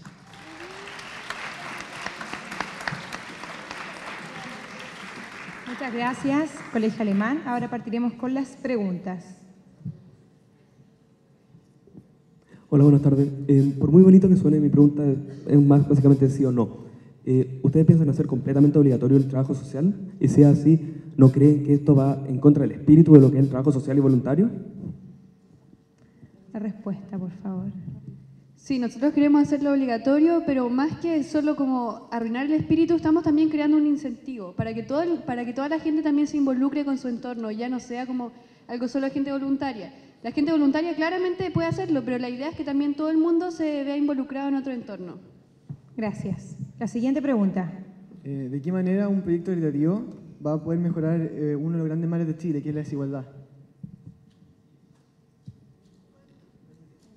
¿Puedes repetir la pregunta? Aleja, aleja un poco el micrófono para que se, se entienda. ¿Que ¿De qué manera un proyecto que es caritativo va a poder mejorar el gran mal de Chile, que es la desigualdad? ¿De qué manera el proyecto mejora la desigualdad acá en Chile? Lo que nosotros apuntamos es no hacer más caridad, sino de que, eh, que cada persona tenga claro eh, la responsabilidad social que debe tener. Es decir, que al principio va a parecer obligatorio, pero luego cada persona se va a sentir identificada con un deber social y así poder contribuir con su, con su sociedad. No queremos hacerlo cari eh, caridad- Carita- caritativo. caritativo. Yo me pregunto si ustedes dicen que esto debería ser obligatorio, o sea, ¿cuál es la manera en que ustedes van a incentivar a la gente? Porque obviamente si es obligatorio, la gente se va a sentir reprimida o no le va a gustar lo que están haciendo en, un- en primer- en primera instancia. De- Seguramente después le va a gustar, pero en un principio, ¿cómo ustedes piensan incentivar a la gente a que entre en esto? Gracias. Pues bien, nosotros teníamos entendido que en esta etapa no constaba tanto en la presentación del proyecto, pero nuestro proyecto en sí plantea que las personas que hagan este cumplimiento van a tener los derechos y beneficios a los bienes del Estado. Y otra cosa también. Eh, que también pensábamos incentivar esto eh, de manera que la gente también se involucre mejor y además eh, va a ser un poco como el servicio militar obligatorio, que en el sentido de que la gente también en, en cierta forma puede participar de la forma que quiere en esto, la cosa es que, es que cumpla con las horas. En el sentido de que, por ejemplo, puedo eh, ir a la casa de la vecina y enseñarle matemáticas y que eso quede certificado, pero la cosa es que va a estar haciendo un servicio social y ayudando a alguien. Gracias. Quedan 20 segundos. Mi primera acotación es que ustedes quieren hacer esto obligatorio. ¿Qué es lo que pasa con el libre albedrío? Y llevemos su proyecto a nuestra región, nuevamente. ¿Qué es lo que pasa? En nuestra región hay 20 fiscalizadores alrededor, más o menos. ¿Cómo van a poder fiscalizar de manera acabada el trabajo social? Libre albedrío primero. Gracias. Damos las gracias al Colegio Alemán de Valparaíso e invitamos a pasar al Colegio Montessori Millantú. Por allá, por favor.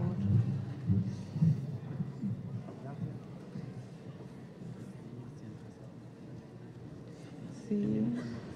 Montessori. mm. Camilo Enríquez. Se prepara el colegio Camilo Enríquez.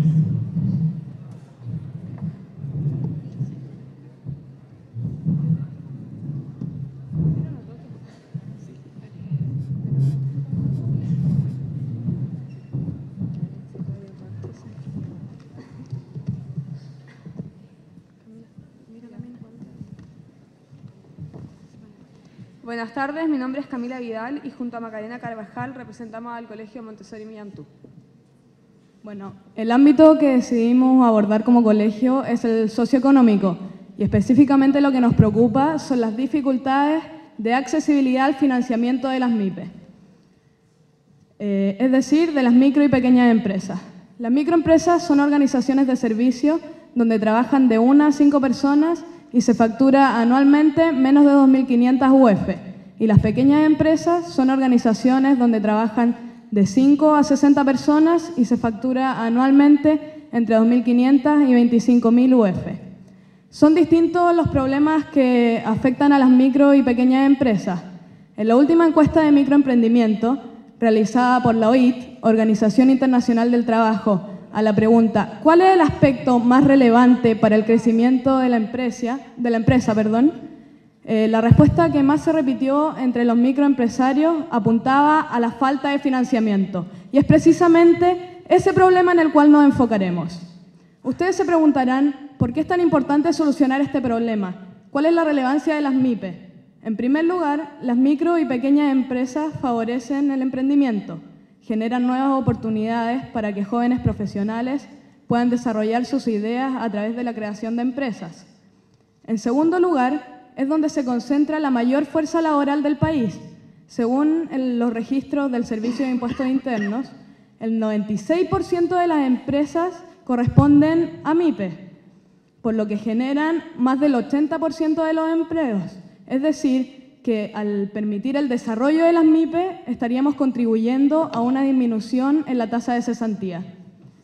En tercer lugar, las MIPE favorecen la paridad de géneros, porque a diferencia del resto de las empresas, en las MIPE, el 40% de los microempresarios son mujeres, lo que permite que la mujer se integre a la economía nacional.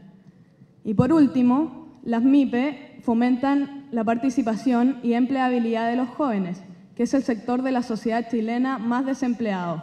Y en las micro y pequeñas empresas se le abre una nueva oportunidad para el desarrollo social. Cuando hablamos de estas empresas de menor tamaño, nos referimos a un gran porcentaje de las empresas del país.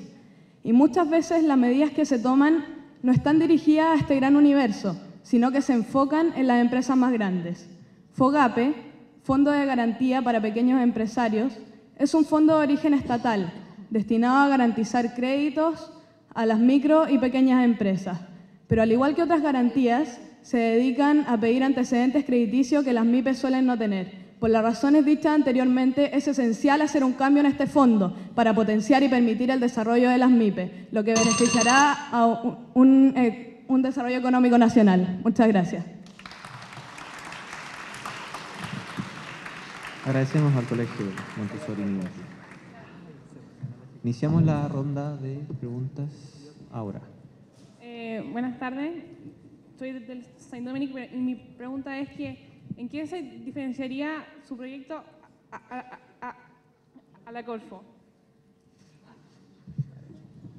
¿Me puedes repetir por favor la pregunta? ¿En qué se diferencia tu proyecto a un Corfo? ¿A Corfo? Claro, a un crédito Corfo. Mira, lo que pasa es que Fogape se dedica a lo que es micro y pequeña empresa. Eh, Corfo tiene una, una división que se llama Fogair, que va a lo, de, a lo que es mediana y pequeña empresa. Lo que nosotros estamos abordando en este momento es lo que es micro y pequeña empresa, lo que eso lo financia Banco Estado por parte de Fogape, claro. Entonces, nosotros no estamos incluyendo a Corfo en este caso porque nosotros estamos viendo a lo que es eh, el 80% de la eh, economía eh, chilena, que son las micro. Adelante.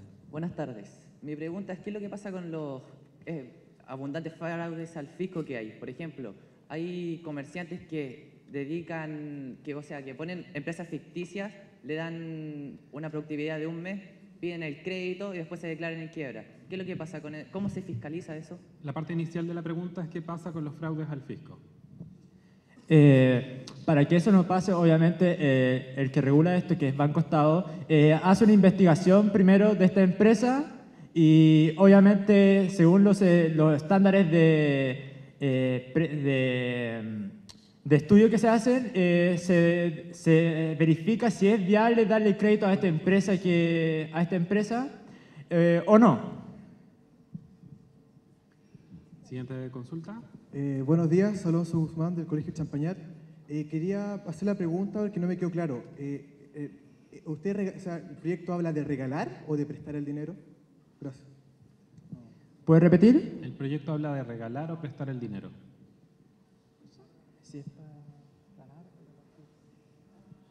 Eh, la finalidad de este proyecto es el prestar el dinero hacia las, a las microempresas que necesitan el financiamiento para poder comprar las, eh, el implemento, el capital, etc.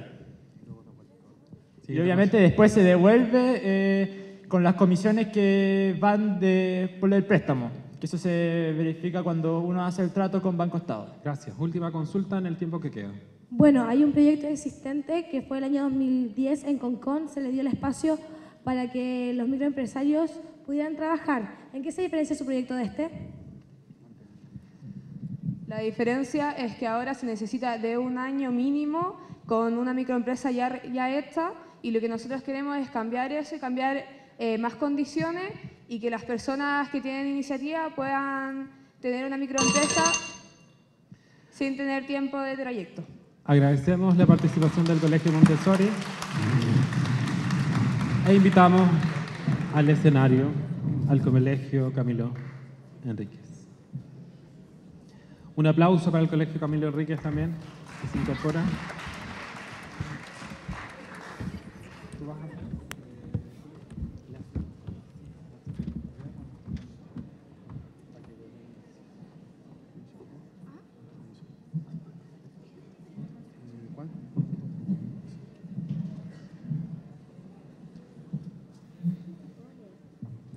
Buenas tardes a todos los presentes. Eh, hoy en día hay una problemática muy creciente en nuestra sociedad. ¿De qué hablamos? De la cultura que está siendo pasada a llevar. Tenemos años de culturas, que, de la cultura chilena, en diferentes zonas que se van diferenciando, pero estas están cambiando radicalmente. Un ejemplo de este es el molde Castro, el cual rompe abruptamente un esquema de una zona tan preciada y reconocida a nivel mundial, aunque esta no ha sido nombrada ni patrimonio de la humanidad ni patrimonio cultural. Para esto, para entrar en nuestra propuesta de, ley, que es una prohibición, eh, necesitamos definir la palabra identidad. Según la psicología, la identidad es el modo de ser particular, la propia y singular modulación de las variantes universales de la cultura en el eje del tiempo y en la dimensión espacial. Nosotros queremos implementar una prohibición a la construcción o sea, no a la construcción, sino a la fachada que se le hará a las nuevas construcciones, sin negarnos al avance de la sociedad y el que se va dando día a día. Un ejemplo de esto, y muy relevante, es la ciudad del Cusco, en la cual se mantienen todos y cada uno de los patrimonios, por decir, históricos de su pueblo, eh, que es un patrimonio cultural de Perú, pero siguen en su interior, tienen toda la tecnología que es necesaria. Esto es un avance de nuestra sociedad, pero sin dejar atrás nuestras raíces. Para esto mi compañera adentrará más en el tema. Muy buenas tardes. Nos motiva conservar la fachada de cada lugar histórico, pues, pues esto se pasa allí. Pues si esto se pasa a llevar, tal como dice la UNESCO, mantener la estructura y patrimonio de la cultura de un país significa mucho más el aumento del turismo, ya que una persona que desea conocer el lugar es por su cultura. Y si ésta se homogeniza con la de otros países, los turistas ya no vendrían hacia, hacia acá. Esto afectaría gravemente nuestra economía, ya que no vendrían los turistas y las ciudades históricas ya no podrían vender sus productos, entre otras cosas.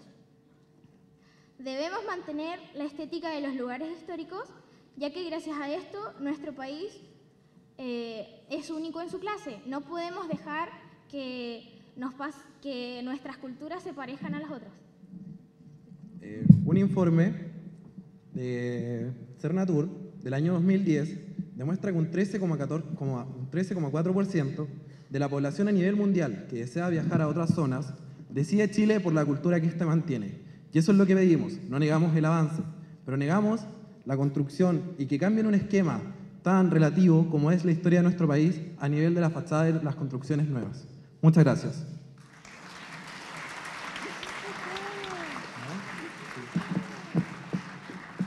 Muchas gracias por la presentación del Colegio Camilo Enríquez. Ahora pasaremos a la ronda de preguntas. Eh, sí, me gustó mucho su presentación. Sin embargo, me gustaría saber cuál va a ser el cambio que existe a, la ley que ya está en contra eh, al daño al patrimonio, porque ya existe una ley que está en contra de eso y la multa es muy alta. Gracias. Bueno, eh, hoy en día existe la ley 17.288, que es la ley de patrimonio cultural. A lo que yo me refiero no es el patrimonio cultural, algo más que nada nombrado por instituciones de la ONEMI, o sino el patrimonio de la humanidad, que es nombrado por la institución de la UNESCO. Yo me refiero a zonas turísticas, las cuales tienen una identidad definida. Un ejemplo de esto es Chiloé, la cual se rompió abruptamente su esquema. Y dentro de nuestra región existe una forma típica, o sea, de construcciones que es la zona de Olmué, la cual ahora se está rompiendo abruptamente por las nuevas construcciones y el avance. Nosotros no nos negamos a esto, solo prohibimos que se rompa el esquema de la estética de la fachada de las nuevas, con- de la- con las nuevas construcciones. Siguiente pregunta. Ya quiero partir felicitando este proyecto, me parece muy interesante, es cosa de ver al paraíso, moverse un poco por el barrio Puerto y ver las fachadas cómo están destruidas por los distintos locales comerciales. Pero bueno, eh, enfocándome en la pregunta, ¿cuál sería el ente regulador eh, que las fachadas de los distintos lugares patrimoniales no fuesen, eh, no fuese- no fuesen incurridos en un verdadero atentado eh, artístico a esto? Porque considerando que las municipalidades eh, hasta cierto punto están muy bajas en recursos y les cuesta mucho fiscalizar esto. Gracias. Eh, entiendo lo que va tu pregunta. Pregunta es quién regularizará esto. Hoy en día, lo parte patrimonial lo regulariza la OLEMI y este trabajo se podría hacer conjunto con el Ministerio de Cultura y Arte. Aparte existen regula- regularizaciones ya vigentes a las construcciones, tomadas por las municipalidades y se tienen que presentar el proyecto antes de hacerlo. Por esto, nuestros entes fiscalizadores, por decirlo de alguna manera, sería eh, la ONEMI junto al Ministerio de Arte y Cultura, ah, Arte y Cultura y la municipalidad correspondiente a la zona, ya que ella manejará la identidad de esto. Gracias. La siguiente pregunta. Eh, buenas, eh, quería preguntar, bueno, eh, es bastante bueno el proyecto, sin embargo quería saber cómo iban a, cómo se iba a mantener si sabemos que Chile es un país sísmico y que tenemos bastante dificultad en este proyecto. Eh, bueno, nosotros no nos referimos a la construcción dentro de esta, nos referimos a la fachada de esta, la parte estética eh, de fuera, externa, por decirlo de modo, y no afectaría nada, ya que las construcciones podrían seguir siendo antisísmicas, pero manteniendo la fachada histórica que tiene la zona en que se construirá. La última pregunta. ¿De verdad crees que es tan importante mantener la fachada? O sea, a ver, yo creo, pienso que la cultura no se rige solamente por la apariencia que pueda tener un edificio. Creo que eso va de la mano con, la, con qué tan arraigada está en la población de aquel lugar. Eh, disculpa que te interrumpa. Eh, el turismo es algo importante y nos relevamos a eso para mantener la fachada y que se mantenga un esquema de una zona histórica, como lo es en este caso, ejemplo, Chiloé. Gracias. Gracias. Damos las gracias al Colegio Camilo Enríquez. Y, invitamos a pasar al Colegio Rayén Cabén de, de Concón. Se prepara el Colegio Liceo Parroquial San Antonio de Viña del Mar. Gracias.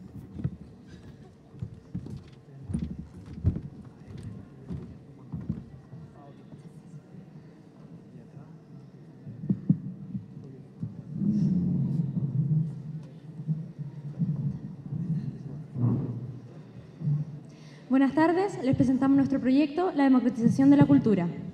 En nuestro país, el acceso al consumo cultural es marcadamente desigual dentro de la población.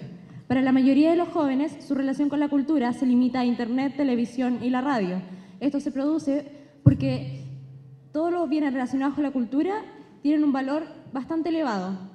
Por ejemplo, los libros. El precio de un libro en cualquier librería de nuestro país oscila entre los 5 y los 20 mil pesos, valor que para un joven perteneciente a los sectores socioeconómicos más bajos es simplemente inalcanzable. En Chile, en los últimos 20 años, el desarrollo de la actividad cultural ha experimentado grandes cambios, pero lamentablemente esta situación no ha podido revertirse pese a la gran inversión hecha por el Estado a través del Consejo Nacional de la Cultura y las Artes. Por lo tanto, el problema no es de inversión, sino de cómo se aborda el tema de la cultura en nuestro país, ya que la cultura se ha convertido en una industria más que simplemente, como cualquier otra, genera ganancias y es lo que busca. Por lo tanto, esto nos lleva a replantearnos el ámbito social de la cultura a través de la institucionalidad ya creada. Bueno, diferentes encuestas realizadas por el Consejo Nacional de Cultura y el INE confirman esta triste realidad nacional, la cual si la comparamos con otros países de Latinoamérica, estamos muy, por muy bajo en el consumo de cultura, eh, cosa que va eh, atenta claramente en contra de los derechos económicos, sociales y culturales, que son los DESC. Eh, los DESC no son sinónimos de buenas intenciones por parte de los estados. Son derechos que derivan directamente de tratados internacionales sobre los derechos humanos, como lo que hace la ONU, la OIT y la UNESCO. Las leyes internas de muchos países y la tendencia a incluir estos derechos en las reformas constitucionales demuestran que estos derechos se pueden hacer cumplir mediante recursos legales, por lo cual nuestro proyecto se basa en elaborar una ley que garantice el acceso a los bienes y servicios culturales de la población. La marginación de parte importante de la población en la participación y consumo en la cultura genera sociedades segmentadas, desintegradas, lo que ciertamente debilita un desarrollo humano sólido y sustentable. Gracias.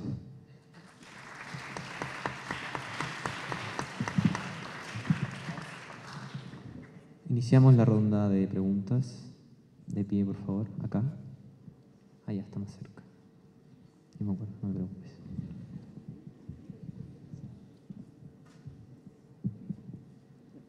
Hola, buenos días. En tu propuesta estás hablando sobre la cultura. Eh, también te dijiste de muchos países de Latinoamérica. En Argentina, todo lo que tiene que ver con el ámbito cultural no paga impuestos. Aquí en Chile sí se paga.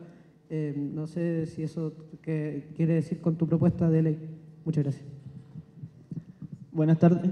Eh, lo que pasa es que en Chile todo lo que es impuesto lo ve el, el presidente. Por ende no se puede hacer una ley que se quiten los impuestos. Se agradece la respuesta.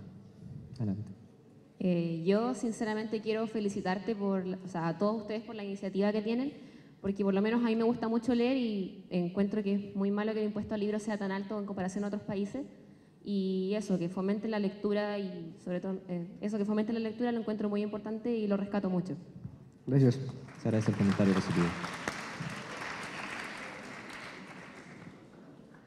Eh, también reiterando lo que decía la compañera acá presente, eh, felicitarlos por su iniciativa, que es muy importante, pero también como a, a modo de acotación, el gobierno ha implementado el sistema de las biblioredes, que de todas maneras no ha tenido mucha repercusión y acá una misma compañera nos contaba de que ella tiene uno al frente de su casa y la gente no va. Entonces también una, algo importante para adicionarle a su propuesta sería también formar en los niños más pequeñitos el hábito de la lectura, que también sería súper importante. Muchas gracias por el comentario. Bueno, yo, buenas tardes, primero que nada. Yo iba más o menos a lo mismo que mi compañero, porque las- yo que sepa, las municipales consta de bibliotecas, entonces yo creo que el que quiere puede leer, y esos libros no cobran nada por, por su uso. Le- lo que buscamos nosotros es fomentar la cultura. No solamente eh, existen las bibliotecas, lo que queremos también nosotros es arreglar lo que se hace ahora con la televisión. Eh, música, teatro, todas esas cosas, no solamente libros. Adelante. Muy buenas tardes. Me gustó su proyecto, pero tengo una interrogante. ¿De dónde van a recompensar los gastos que se supone que van a sacar de los libros?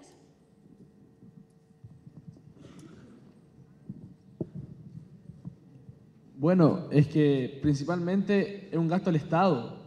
Entonces, como que no un gasto que afecte ni editorial ni autor.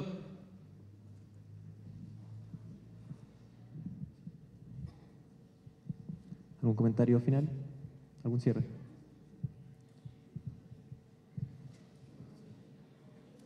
¿Comentario de cierre? Es muy buena la idea, pero ustedes lo que buscan es un cambio de mentalidad porque de otra manera no lograr, los recursos están. Muchas gracias.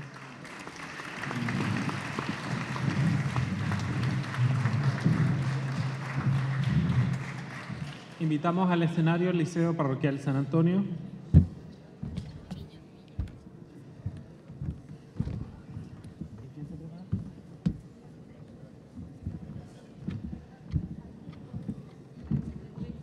¿Qué números son?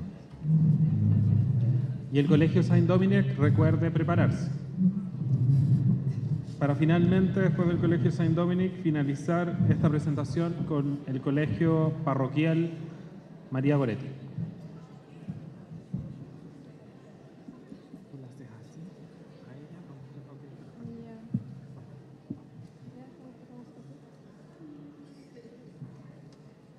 Buenas tardes, mi nombre es Camila Croaré y quien me acompaña es Maximiliano Sapiaín. Nosotros representamos al Liceo Parroquia de San Antonio y hoy en esta ocasión les queremos presentar nuestro tema, el cual se desarrolla en torno a lo social cultural, específicamente el patrimonio y la ciudadanía. Ciudadanía.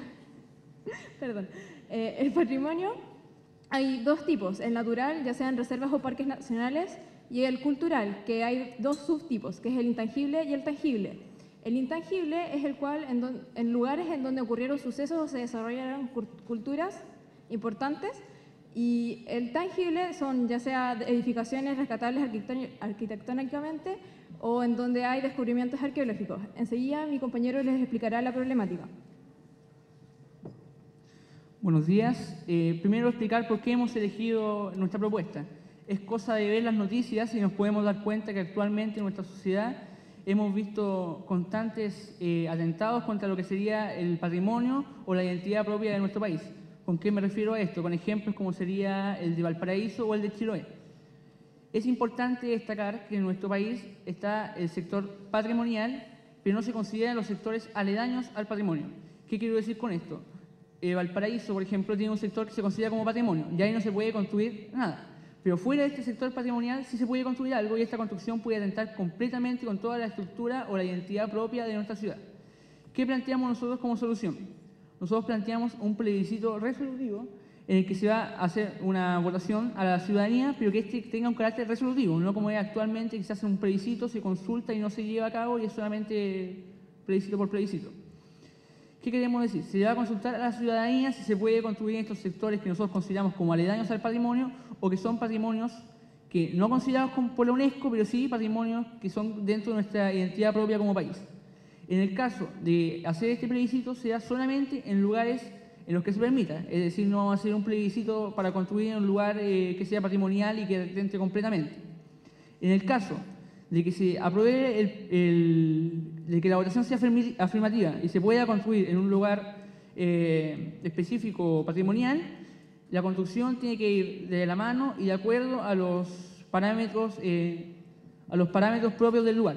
Es decir, si se aprueba construir un mall en el sector de Valparaíso, nosotros planteamos que, como dijo otro grupo, tenga la fachada o sea acorde a la identidad de la ciudad. No planteamos que a pesar de que se apruebe, se construya un mall que sea totalmente contrario o adverso a toda la identidad propia de un lugar. No estamos planteando un mall completamente tecnológico o algo así, sino que en el caso de que se apruebe, la votación sea afirmativa, la construcción o la intervención urbana tenga que ser acorde a la identidad propia del lugar. Muchas gracias.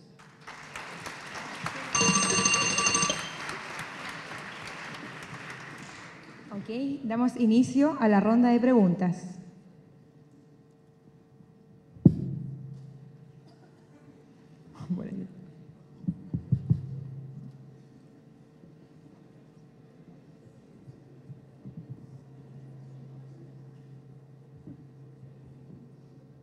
Buenas tardes. Eh, cabe mencionar que para que ocurra un plebiscito vinculante se debe hacer un cambio a la Constitución. Porque si, si se hace como está la Constitución ahora, no, eh, sería inconstitucional realizar este plebiscito. No, ex- no existiría. La respuesta, por favor. Eh, destacar que hoy en día sí se realizan plebiscitos, lo que pasa es que nosotros queremos cambiar el carácter de esto, porque en- hoy en día son consultivos, es decir, uno dice, quiero que hagan el mall aquí y todos no están de acuerdo, pero lo hacen igual. En nuestro caso queremos hacerlos resolutivos, entonces si la población no está de acuerdo o la gente que reside en el lugar, eh, no se lleva a cabo la construcción. Gracias. Eh, la, de partida me parece una iniciativa bastante buena en sí el tema de proteger el, el tema de la identidad, patrimonio, cultura, pero me surgió la duda de que ustedes señalaron que estos plebiscitos afectarían a también sectores que no son determinados por la UNESCO como patrimonio en sí. Eh, mi pregunta va orientada a quién determina qué es patrimonio en este caso. Eh, bueno, lo- como lo que quise explicar con el puerto de Valparaíso es que hay lugares que por el- la- estar afuera de lo que se considera como patrimonio se permite la construcción, como es el caso del puerto, del puerto de Valparaíso. Dentro del centro de Valparaíso no se puede construir por atentar a la identidad propia de la ciudad, pero al salir fuera de esta línea sí se puede construir esto sería claramente un atentado contra la identidad propia de la ciudad y sería claramente discordante con lo que estamos planteando como preservación de la identidad. ¿Cuál sería el parámetro para decidir lo que es patrimonio y lo que no es patrimonio? No se puede construir sin eh, atenderse a este plebiscito en cualquier lugar que destruya la identidad propia de un lugar o que se vea contrario contra la- las construcciones aledañas. Gracias. La Bueno, siguiente yo, pregunta. yo los quería felicitar porque de verdad que me opongo a, a que las construcciones sean una irrupción violenta en el ambiente y también me gustaría que las legislaciones sobre esto sean más fuertes porque muchas veces, eh, por ejemplo, para construir edificios muy altos en zonas no permitidas, la gente pasa plata por debajo y, y está todo resuelto. Eso era. Gracias. La siguiente pregunta, por acá. Rápidamente, para que puedan contestar. Eh, bueno, mi pregunta es, eh, a partir de esto, ¿cómo evitarían, por ejemplo, que los principales grupos económicos que están involu- involucrados en la construcción de un mall, por ejemplo, no influyan en la opinión de la gente? Gracias. Eso. ¿Cómo, cómo, cómo ustedes evitarían que los grupos económicos que construyen el mall no, no intervengan en la gente, no influyan en la gente? ¿Te refieres así como que los compren, entre comillas? Bueno, siento. Damos las gracias al Liceo Parroquial San Antonio de Villa del Mar. Invitamos a pasar al Colegio Saint Dominic de Viña del Mar y se prepara el Colegio María Goretti de Concón, el último colegio, el último colegio.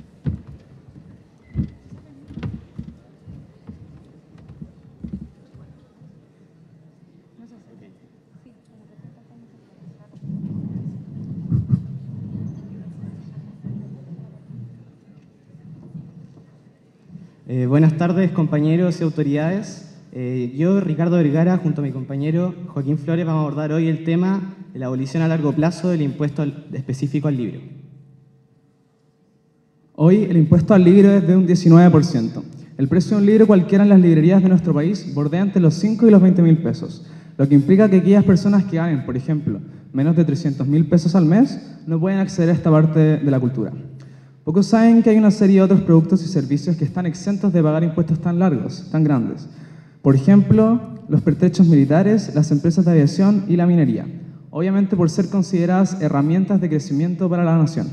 En este caso, el libro también se puede considerar una herramienta de crecimiento, más específicamente una herramienta de crecimiento para el capital humano. El impuesto existente del 19% es el más alto de América y probablemente el más elevado del mundo.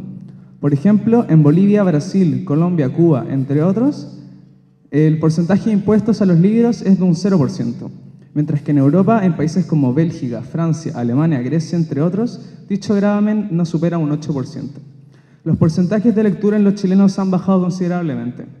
En encuestas sobre el consumo cultural y uso del tiempo libre, realizada por el Instituto Nacional de Estadística junto al Consejo Nacional de la Cultura, indicó que en un periodo de tres meses, en el sector de, en el sector de estrato económico bajo, un 14,1% de los consultados había comprado un solo libro de 1.142.303 encuestados.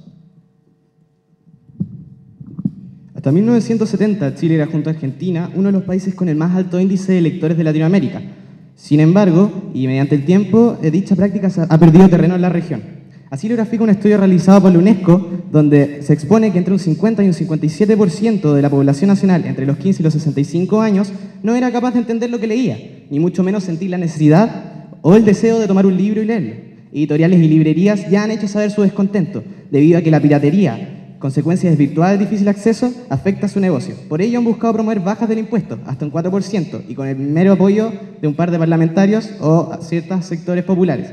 No ha logrado nada. Bajo estos argumentos, nuestra tesis sería proponer una baja a corto plazo y una abolición a largo plazo del impuesto al libro, debido a las implicancias que traería el cambio del presupuesto nacional. Y no debemos olvidar que es un deber de todos los chilenos el promover la lectura y permitir su correcto desarrollo, puesto que cuando un país se educa, crece. Muchas gracias.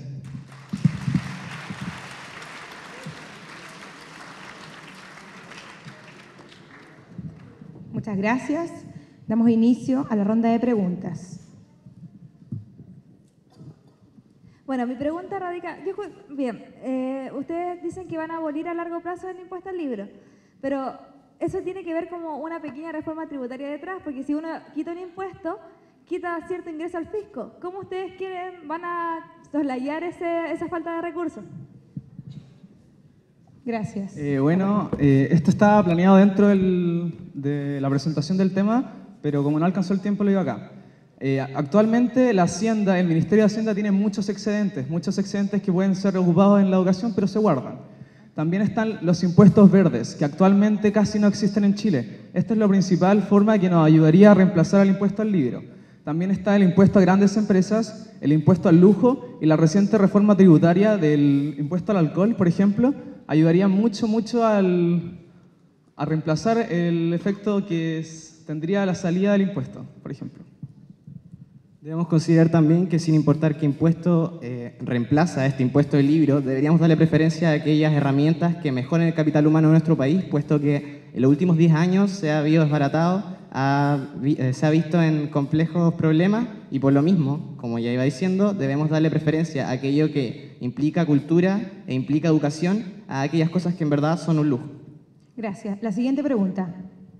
Eh, mi pregunta va que si ustedes tienen pensado algún mecanismo para también promover eh, la mentalidad lectora en los, en los niños o en los adultos, eh, en la gente en realidad en Chile. Y además me parece una muy buena propuesta. Eh, nosotros también la habíamos pensado como grupo y me parece espectacular. Gracias. Bueno, la verdad es que en mi discurso eso estaba, pero no lo pude decir por una cosa de tiempo. Eh, y como dije al final de forma enfática, es eh, responsabilidad de todos los chilenos el promover la lectura, comenzar por el programa, por ejemplo, la lectura obligatoria diaria. Unos 20 minutos diarios van a cooperar a que la gente se interese más en los libros, quiera leer y se acostumbre a leer. Con esto vamos a aumentar el consumo de libros y si facilitamos el consumo de libros vamos a mantener un mercado constante, un mercado que va a estar bien evaluado y un mercado que nos va a permitir eh, una buena educación, una mejora del capital humano y que se sostiene por sí solo, puesto que la cultura cada vez va mejorando y va, eh, además de ser flexible, va evolucionando. Gracias. La siguiente pregunta.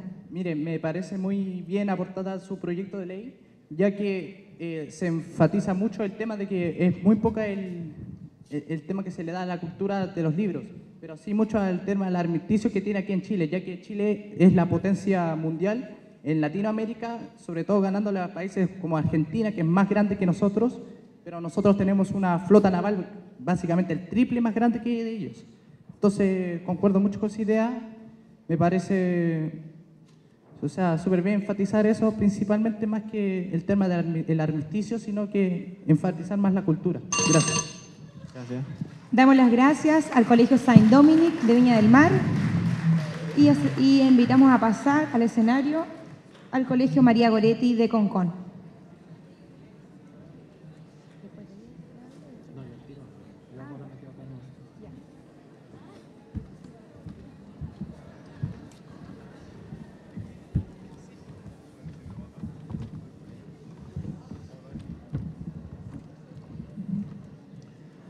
Luego de la presentación del Colegio Parroquial María Goretti, vamos a hacer una charla de cómo se crea una ley. Es muy didáctica para que puedan tomar nota. Y vamos a darle el paso al último colegio eh, en presentarse en esta jornada de hoy. Un aplauso para ellos.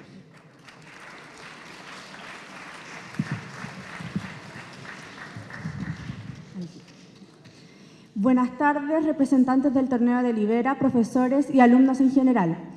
Me llamo Teseitel Lagos y les presento a mi compañera Daniela Olavarría, quien nos expondrá nuestro proyecto brevemente. Buenas tardes. Durante el último tiempo, a nivel nacional, se han desarrollado muchos problemas político-ambientales. Entre eso, nosotros nos basaremos en dos ejemplos de nuestra comuna, la privatización de las dunas, encargado de la empresa Reconsa, y el proyecto de construcción de una termoeléctrica encargado de ENAP, refinerías. Todo esto causa un revuelo en los locatarios, lo que incentiva a marchar en las calles, incentiva también a hacer festivales culturales en este ámbito. De, acue- de acuerdo al contexto explicado anteriormente, nuestro proyecto se inscribe en la contradicción entre medio ambiente y desarrollo. Tal contradicción nos lleva a hacernos las siguientes dos preguntas. ¿Cuál es nuestro límite? ¿Cuánto estamos dispuestos a entregar con tal de lograr un mayor desarrollo económico? La respuesta a estas preguntas son complejas, ya que se debe hacer hincapié a ambos procesos, pero también creemos que estos problemas generados están vinculados con la baja, la baja opinión ciudadana en nuestra comuna con respecto a las etapas de los procesos y los proyectos en nuestra misma comuna. Por ende, vinculamos directamente eh, los problemas medioambientales con, un vacío político a nivel comunal. Por esto nos hacemos la siguiente pregunta. ¿Por qué no existe una instancia de participación ciudadana en asuntos medioambientales? Existe una ley comunitaria en cual da derecho a voz a las personas que tienen un proyecto. Nosotros esa ley la queremos modificar y queremos que sea que nos dé voz, derecho a voz, voto, defensa y apelación de nuestros proyectos, ya que nosotros tenemos que luchar por lo que nosotros estamos representando. Muchas gracias.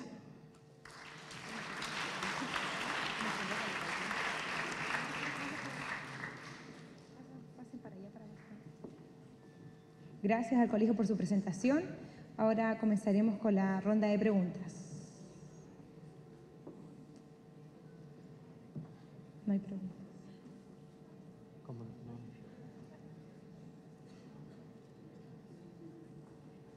Ah, Ahí hay una. Yo quería felicitarla, eh, felicitarlo, porque el tema de las dunas, nosotros, a mí personalmente me tocó bastante cerca. Nuestro colegio está prácticamente al lado y creo que es una muy buena iniciativa. Gracias. Gracias. Muchas gracias por tu comentario. También felicitarlas por su proyecto, pero una pregunta que nos- una duda que nos quedó. ¿Ustedes apuntan a una baja participación de la comuna, de la comuna con cosas ambientales o no? Ustedes hablan de una baja participación de la comuna en temas medioambientales, ¿eso fue? Esa es mi pregunta, para... Sí. Sí, temas medioambientales. Resulta de que cuesta mucho de que las personas, eh, el incentivo de que las personas luchen por, sus por sus derechos, lu- cuesta mucho.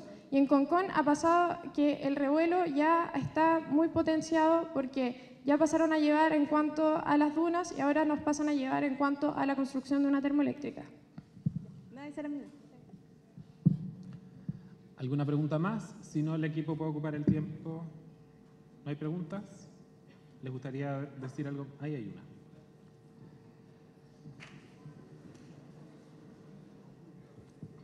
Eh, tengo una pregunta respecto a lo que es de las dunas. Eh, las dunas hoy en día en Concón son de ente privado, ¿cierto? Están en proceso, ahora eh, una cierta cantidad de las dunas, una cierta parte fueron eh, vendidas y están en proceso de que pasen a ser un patrimonio.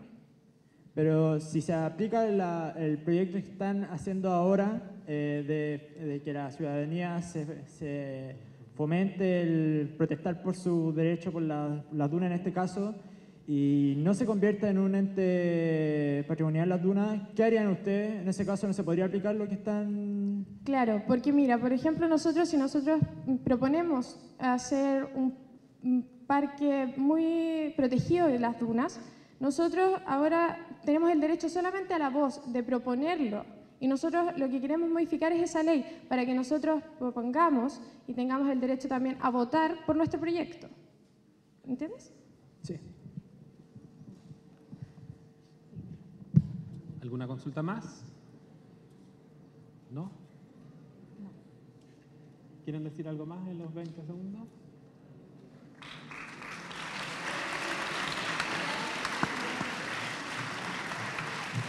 Bueno, junto con este aplauso y agradecer la presentación del Colegio Parroquial María Goretti, agradecemos la participación de todos los colegios que se presentaron hoy día, que fueron 28, hasta el momento en la región con más participación de todo Chile. Eso yo creo que merece un aplauso de ustedes mismos. Hoy día ha sido una jornada extensa, muy variada. Yo al inicio no, no quise decir mayores palabras, pero este es el tercer año que estoy como máster en Delibera acá en, este torneo que organiza la biblioteca y en caso de Valparaíso en conjunto con la universidad. Y este es un proceso de aprendizaje. Ustedes van a conocer realidades de otras eh, comunas, eh, de compañeros de tal vez otro tipo de colegios que no es el suyo, porque este es un torneo transversal, con liceos, con colegios particulares, particulares subvencionados, y es muy importante que, que vayan compartiendo esas experiencias. Por eso yo creo que de alguna manera este torneo es tan enriquecedor, porque de alguna manera los acerca a un mundo que a veces se ve tan lejano para los jóvenes que el mundo político, que tiene que ver con la elaboración de los proyectos de ley. Junto a eso, agradecer, en el caso de la Universidad del Paraíso, nosotros, eh, yo como máster trabajo con muchos alumnos, hay alumnos de historia, de filosofía, de administración pública, que han hecho de animadores, han estado ustedes afuera guiándolo. Es un trabajo en equipo muy grande, así que los invitamos a seguir con ese entusiasmo, a participar de las otras etapas online y la final regional. Eh, y bueno, aprovechar al máximo el torneo, nosotros vamos a estar dispuestos a todas sus consultas. Lo único que les pido es que no me llamen, por favor, como a las 12, 1 de la mañana, porque la idea es que puedan llamar antes, que es lo que regularmente pasa, porque los colegios tienen normalmente hasta las 12 de la noche para inscribir la- las fases que- entregables de- del torneo online. Así que muchas gracias y ahora vamos a dar paso a una charla explicativa de cómo se construye una ley. Vamos a invitar A continuación, dejo con ustedes a la representante de la Biblioteca del Congreso Nacional, señorita Carol- Carolina Torrejón, quien nos explicará el proceso de cómo se construye una ley. Recibámoslas con un fuerte aplauso.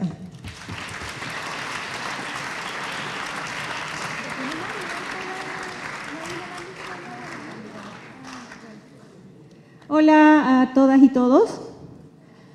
Primero les quiero decir que yo quiero vivir en el país que ustedes quieren construir. No sé si les, vale esta observación.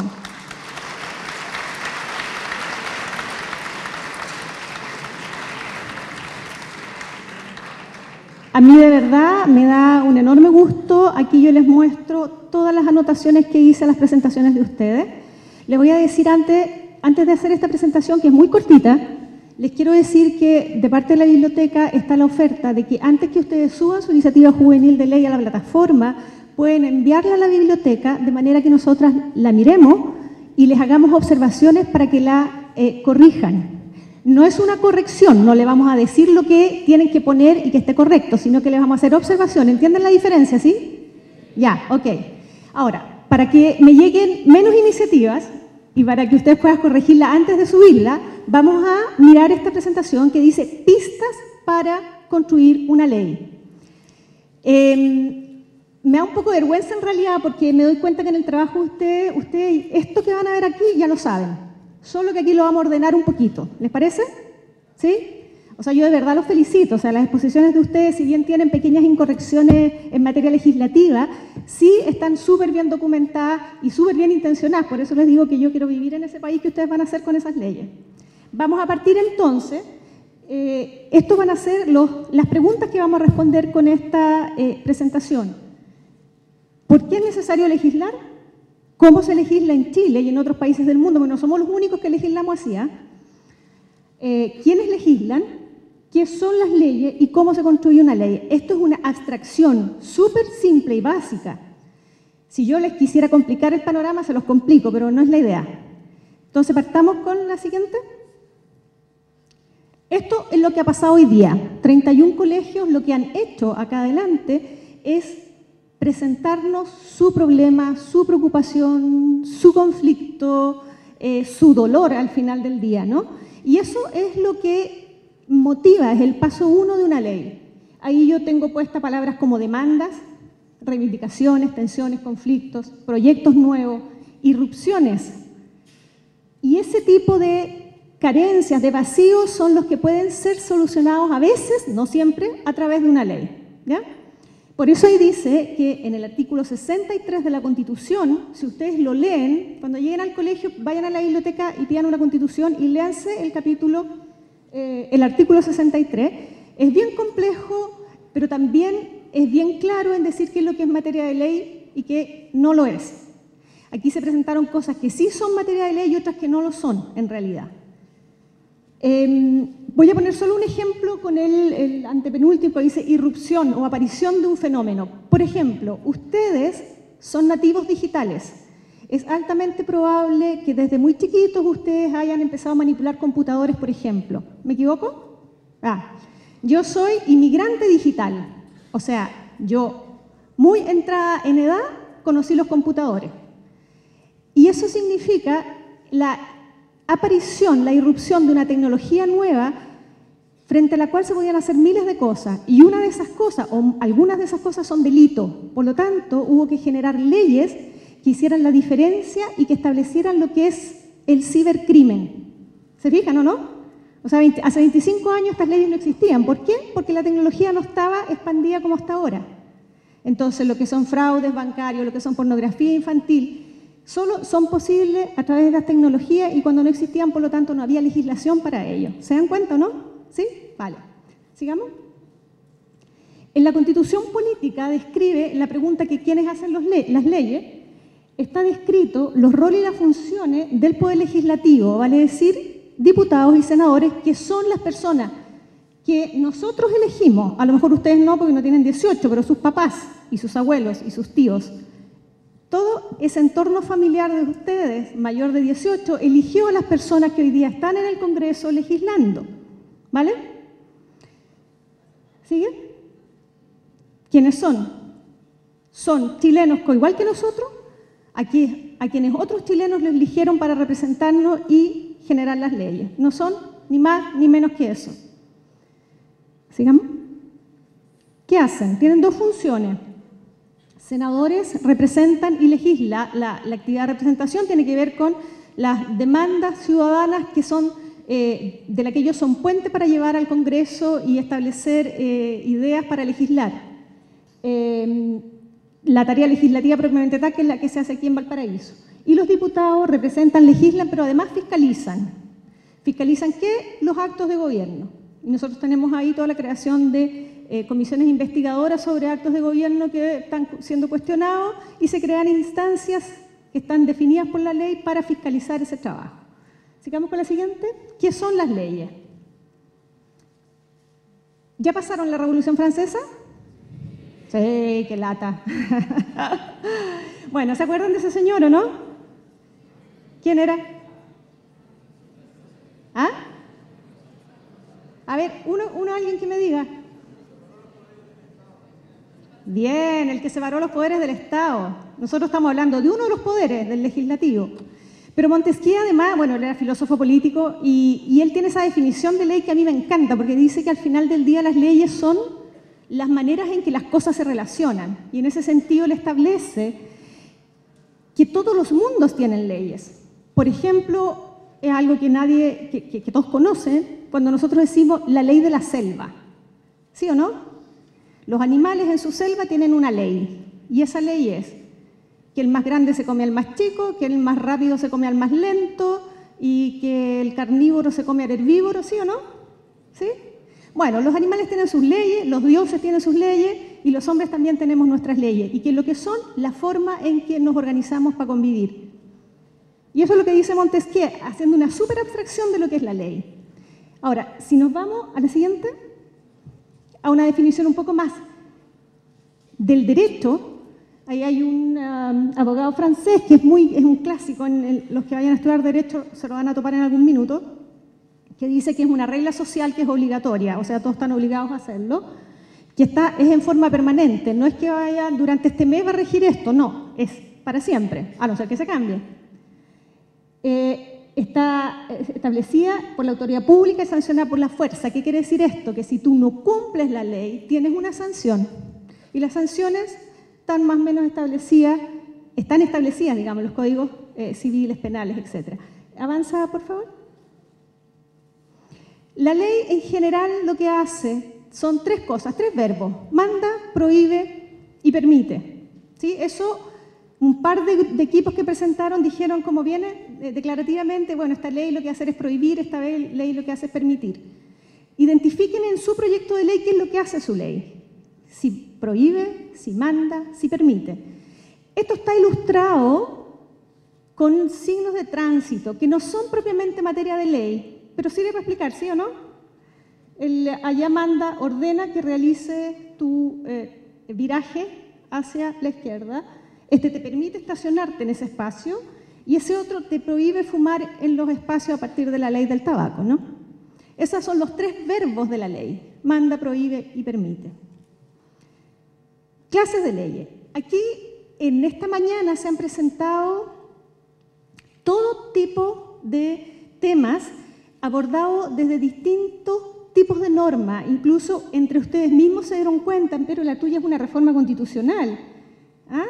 Hubo un, grupo ahí que, que me... ¿Tú fuiste? ¿Sí?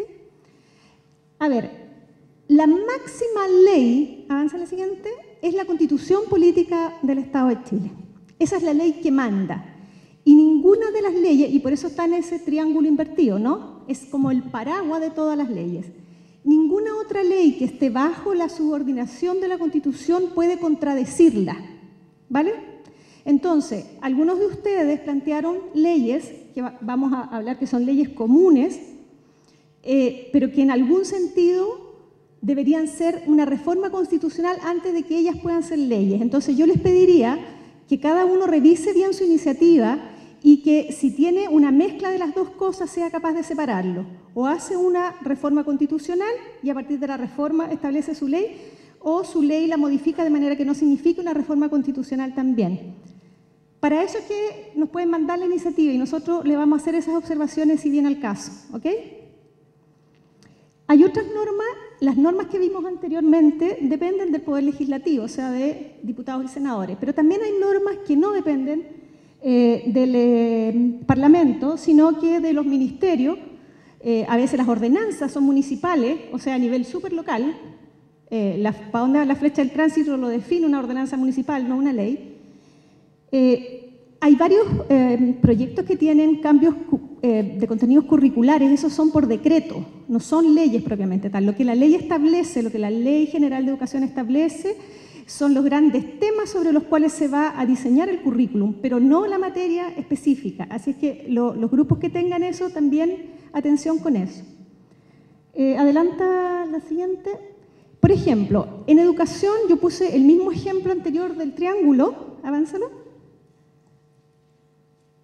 A nivel constitucional, el artículo 10 dice que el derecho a la educación establece el derecho a la educación y dice que la educación tiene por objeto el pleno desarrollo de la persona en las distintas etapas de su vida. Nada de lo que venga para abajo puede contradecir eso. La ley de, general de educación, entonces, la que rige el sistema educativo, está en la ley 20.370, que fue modificada con un decreto del año 2010. Y más abajo de esa ley general de educación están los decretos que establecen qué es lo que ustedes van a estudiar en la sala de clase. ¿Se fijan? Que son distintos tipos de rango de importancia en eh, el ordenamiento eh, que nos rige. Avanza, por favor. Ahora, ¿cómo se hacen las leyes? Esto que estamos haciendo nosotros, nosotros lo hemos definido como una etapa prelegislativa, o sea, identificamos el problema, lo documentamos, ustedes la mayoría lo documenta tremendamente bien, con datos, con eh, fuentes fieles, confiables, eh, eso es en general lo que he visto. Em, y entonces se decide que eso puede ser un proyecto de ley, o sea, una etapa prelegislativa es donde vemos si este problemilla que nosotros detectamos es mm, solucionable a través de un proyecto de ley que finalmente sea ley. Ahora, aquí, y ustedes ya la mayoría tienen más o menos claro, hay dos orígenes de la ley. Uno es el ejecutivo o sea, el presidente de la República, y otro es el Congreso, o sea, diputados y senadores. ¿sí? Cuando el origen de la ley viene del Ejecutivo, o sea, del presidente, se llama mensaje. Hay varios de los proyectos que ustedes presentaron hoy día que son mensajes. Y el, el proyecto de ley que presentan los parlamentarios se llama mociones. La diferencia fundamental entre mensaje y moción es que el mensaje, en la mayoría de los casos, porque hay veces que no, les voy a poner un ejemplo para que se den cuenta, implica recursos del Estado, recursos financieros, plata del Estado. Ningún parlamentario, diputado o senador puede presentar un proyecto que signifique eh, ocupar eh, recursos financieros del Estado. Solo el presidente. ¿sí? Entonces, por ejemplo, el, el tema del impuesto al libro, lo- lo- lo- dentro de las preguntas que hicieron los equipos, muy bien. O sea, es un cambio tributario, los cambios tributarios implican modificar ingresos del Estado y gastos del Estado, por lo tanto corresponde a un mensaje. ¿Se fijan? No hay problema en que ustedes presenten o mensaje o moción, solo que ustedes en el texto escrito deben declararlo. Lo que presentamos a continuación es un mensaje por esto y por esto. ¿Sí? ¿Les queda claro, no? Vale lo mismo que sea mensaje o que sea moción en lo que ustedes presentan. Eh, ¿Estamos claros hasta acá? ¿Sí? Ahora, de los 30, no, no fueron 31, fueron 29. Déjame terminar y, y vamos a preguntar. De los diferentes temas que ustedes presentaron, la forma de trabajar que tiene el Poder Legislativo es que establece grupos de trabajo por temas. Y allí están listados en letra muy chica, que probablemente algunos no ven, pero eso está en las páginas web de la biblioteca y en las páginas web de eh, la Cámara y del Senado, las eh, comisiones donde se trabajan los distintos proyectos de ley. Eh, gobierno y descentralización, hay varios, hay varios proyectos que tienen que ver con temas de descentralización, constitución, legislación y justicia, hacienda, educación, etcétera, etcétera. Lo mismo, lo mismo para, el- la, para la Cámara. Avanza el siguiente ahí. Entre otras, no, alcancé, no alcanza a salir todas ahí, pero ahí está la página web. Esta, esta presentación está en nuestro portal, ¿no es cierto? ¿Sí? ¿Sí? Ya, esta presentación está en el portal, por si después la quieren mirar. Ahora, ¿qué ocurre en el proceso? Esta es una hiperabstracción del proceso de generación de la ley. Viene un mensaje, viene una moción, entra a una comisión de acuerdo al tema, se decide que sí se legisla, o sea, se le da el sí y la aceptación a la idea de legislar, se trabaja en las comisiones, y ahí es súper importante porque en las comisiones, en el trabajo del proceso de ley, participan muchos ciudadanos, pero no ciudadanos de a uno, sino que ciudadanos organizados en torno a una temática. El otro día en el Congreso me topé en, los ascensores con un grupo de personas que estaban agrupadas eh, bajo el nombre de enfermedades de alto costo que no están en el auge, que son enfermedades súper raras, que hay, no sé, un chileno, tres chilenos, cinco chilenos enfermos, y hay unos 20 en el mundo, pero que a pesar de lo raras son tremendamente caras y no tienen financiamiento del Estado. Entonces, este grupo de personas que tienen familiares eh, afectados de ese tipo de enfermedades se agruparon y están pidiendo que se revise la ley de auge de salud para ver si es posible alguna ayuda financiera del Estado para tratar estas enfermedades. Entonces, es súper importante que ustedes sepan de que las leyes no las hacen los parlamentarios solos. Los parlamentarios a veces son abogados, a veces son arquitectos, a veces son médicos, a veces son profesores, a veces son sociólogos, y si les toca una comisión donde el tema no es el que ellos dominan por la carrera universitaria que hayan seguido, se tienen que documentar, para eso está la Biblioteca del Congreso, pero además reciben a muchos ciudadanos con interés legítimo en el tema y los escuchan. ¿Ya? O sea, los ciudadanos no estamos fuera de ese mundo por ser ciudadanos, también podemos participar de la discusión parlamentaria. Perdón, ándate a la anterior. Una vez que se eh, ap- aprueban en la comisión el proyecto que se va a legislar, se vota en la sala, que es la típica que sale en la tele en el noticiero, ¿no? En general no sale el trabajo de comisiones, sale el trabajo de sala, donde muestran un panel donde está el listado de parlamentarios y en luces rojas y verdes se ve quién votó sí, quién votó no. ¿Lo han visto alguna vez? ¿Sí? Ya. Y finalmente la ley se eh, promulga, se publica y ustedes la pueden ver en el portal de la Biblioteca del Congreso. ¿ah? Siempre las leyes en la biblioteca están actualizadas, son la última versión con todas su- sus reformas, etcétera, etcétera. O sea, es la fuente original de la ley en Chile. Y entonces, ¿por qué Delibera hace todo esto? ¿Y por qué todos ustedes están acá? ¿Y por qué se han preparado tan bien como se han preparado? Es por lo que este señor, que representa, de hecho, por su color de piel, una de las minorías eh, en el mundo occidental, pero que además este señor es político, norteamericano, pero además es bibliotecario. Y él, desde ser bibliotecario y manejar recursos de información, ¿qué es lo que ustedes han hecho hoy día? Ustedes, para pararse acá adelante, han manejado recursos de información para preparar su presentación. Y él dice que es necesario tener ciudadanos informados y educados. Por eso estamos haciendo el Delibera y por eso queremos que muchos más jóvenes lo hagan. Y mm, yo los felicito, les agradezco el interés y el compromiso. Eh, parece que Jacqueline, ¿tú quieres hablar? ¿Ah? ¿Sí? Ok. Esta presentación eh, está en el portal de Libera. Le voy a dar el pase a Jacqueline Santar, que quiere decir un par de cosas también. Y mándennos la iniciativa para que nosotros se la eh, observemos, ¿ya?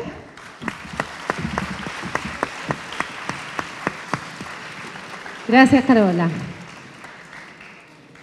Ella es Carola y en el equipo de Delibera es la responsable de los contenidos, muy importante. Eh, bueno, en primer lugar, quiero partir con un agradecimiento que omití en la mañana y que todos vamos a aplaudir con mucho agrado, y es eh, al reconocimiento del aporte que significan los profesores que acompañan a cada grupo en este torneo.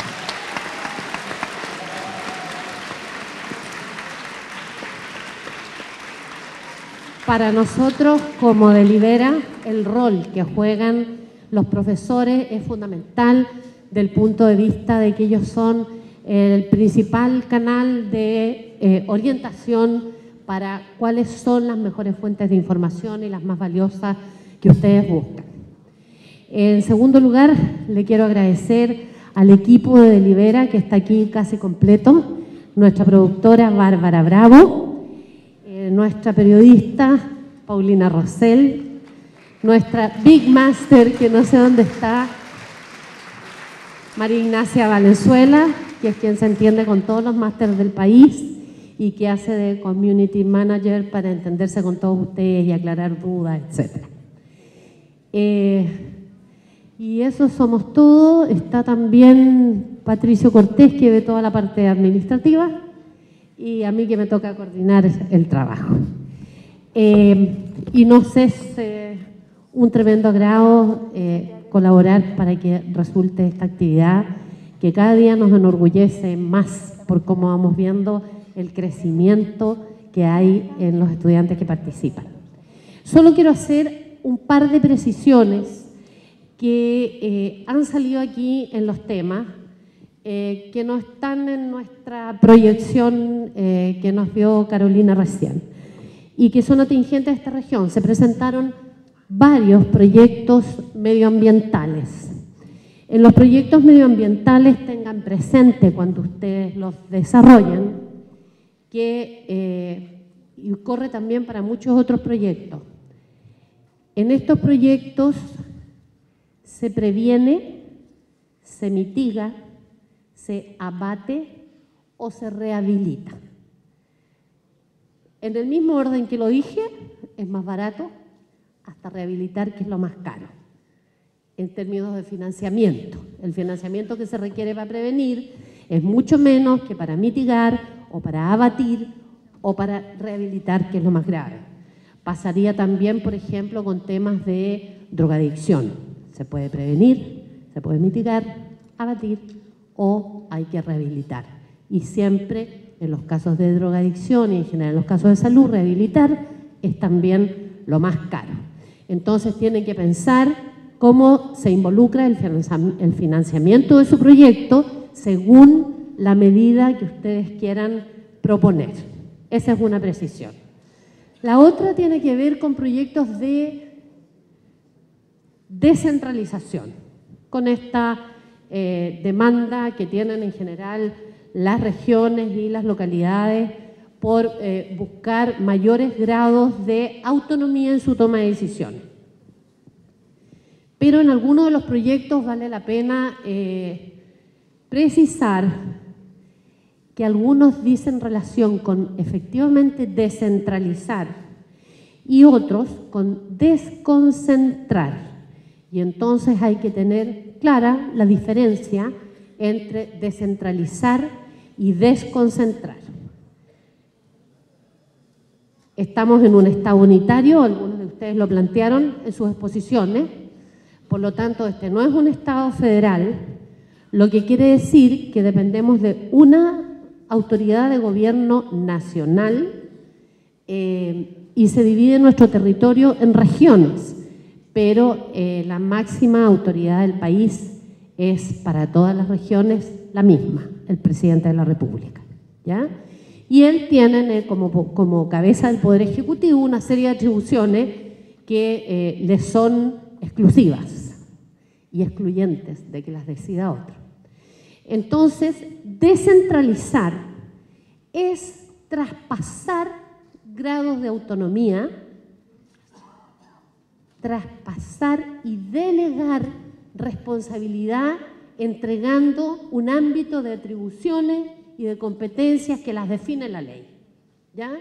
Y entonces yo traspaso una facultad que es mía y la descentralizo y se la entrego, por ejemplo, a un intendente y va a ser una autoridad que autónomamente tiene un ámbito de decisiones que le son propias y el responsable pasa a ser él.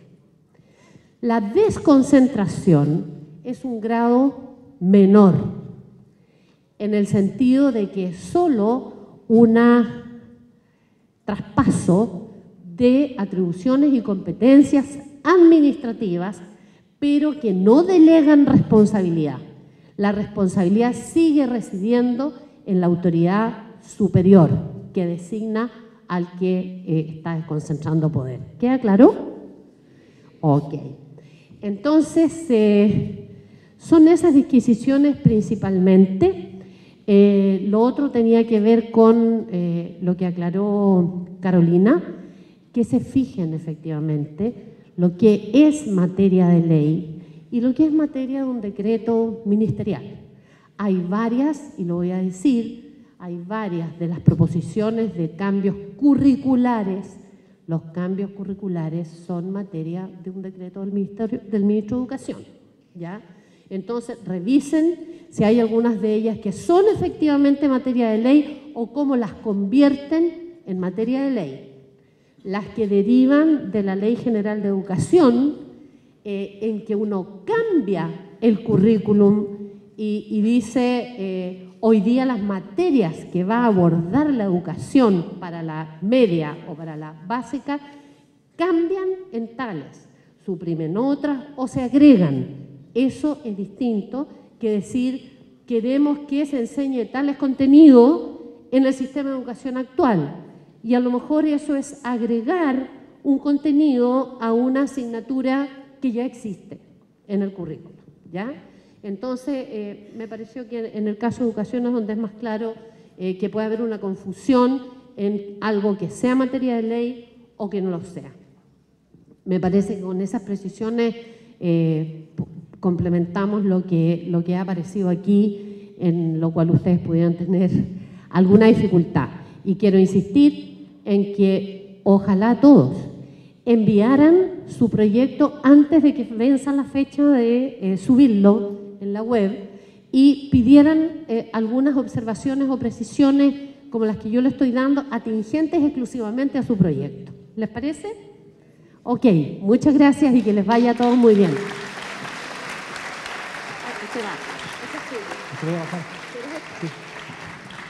Para ir, para ir finalizando, vamos a dar algunas indicaciones acerca de la etapa online, que es lo que viene y parte mañana. Ustedes eh, van a tener diferentes plazos en esta etapa online que está compuesta por cuatro partes para ir subiendo los diferentes requerimientos que se les va a exigir. Por ende, si ustedes ingresan a la página, vamos a hacerlo desde el inicio, pondelibera.cl, porque yo creo que muchos ni siquiera han visto la página web. Si ustedes ingresan a la página web de la universidad, tienen que ir, de la universidad, desde Libera, entran a torneos 2012 y hoy día pueden hacer un seguimiento de cómo están las regiones.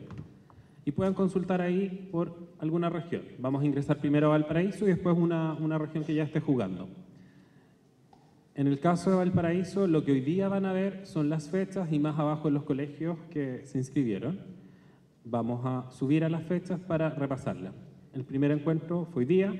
A partir de mañana comienza la etapa digital que se extiende hasta el 6 de agosto. Y luego finalizamos, la final regional es el 21 de agosto, con siete equipos que van a pasar a esa instancia.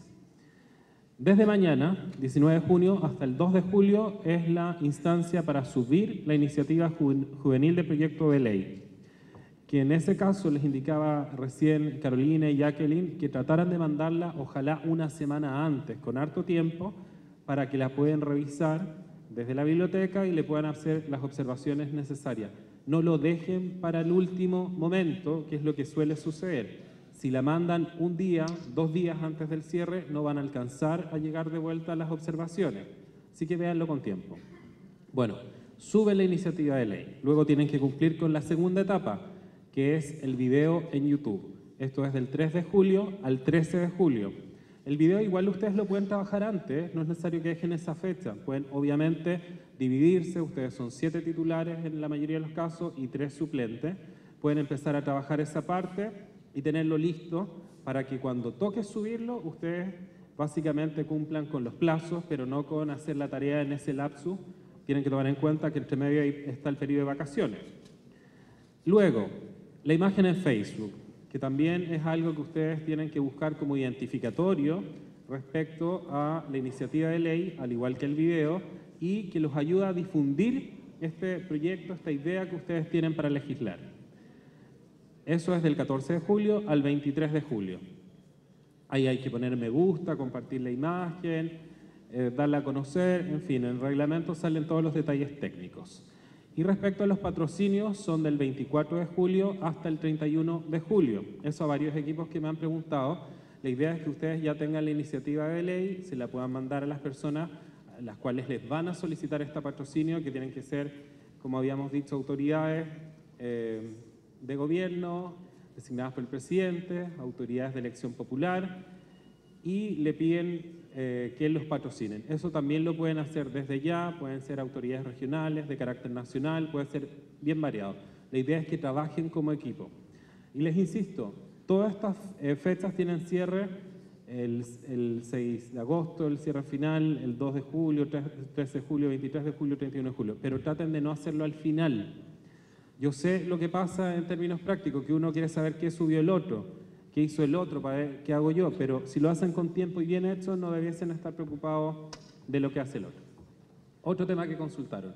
Si ustedes se fijaron, hay varios equipos que repiten el tema o que hablan de algo similar. Eso no, no es necesario que lo cambien. Ustedes pueden ir por el mismo tema porque esto tiene diferentes puntajes. Cada una de estas fases, eh, de las cuatro fases de, de la etapa online, les va a agregar un puntaje. Entonces va a depender de todo el desempeño si ustedes con el puntaje final van a pasar o no a la etapa.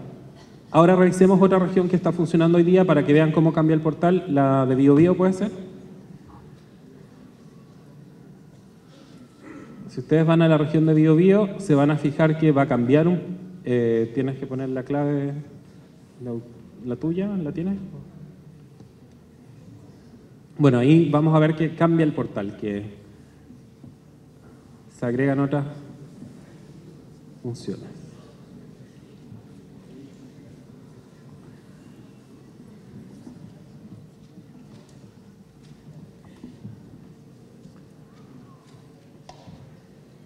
Eh, María Ignacia, el, cierre de, de los entregables todavía es a las 12 de la noche.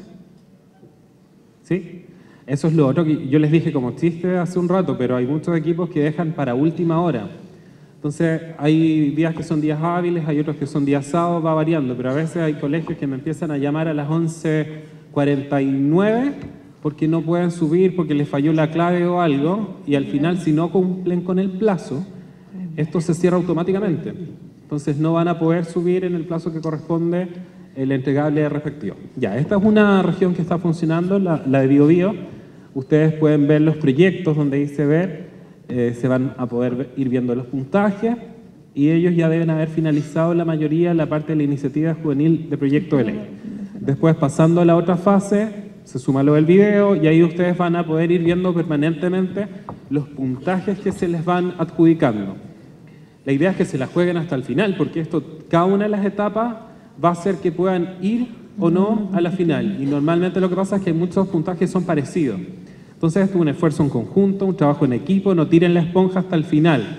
Háganlo como un proceso de aprendizaje y, y- y les, va, les va a servir, les va a servir para después, créanme. Y bueno, básicamente eso es lo que es la etapa online, a no ser que tengan alguna consulta que quieran realizar. Te, te paso este, ahí hay una consulta del alemán.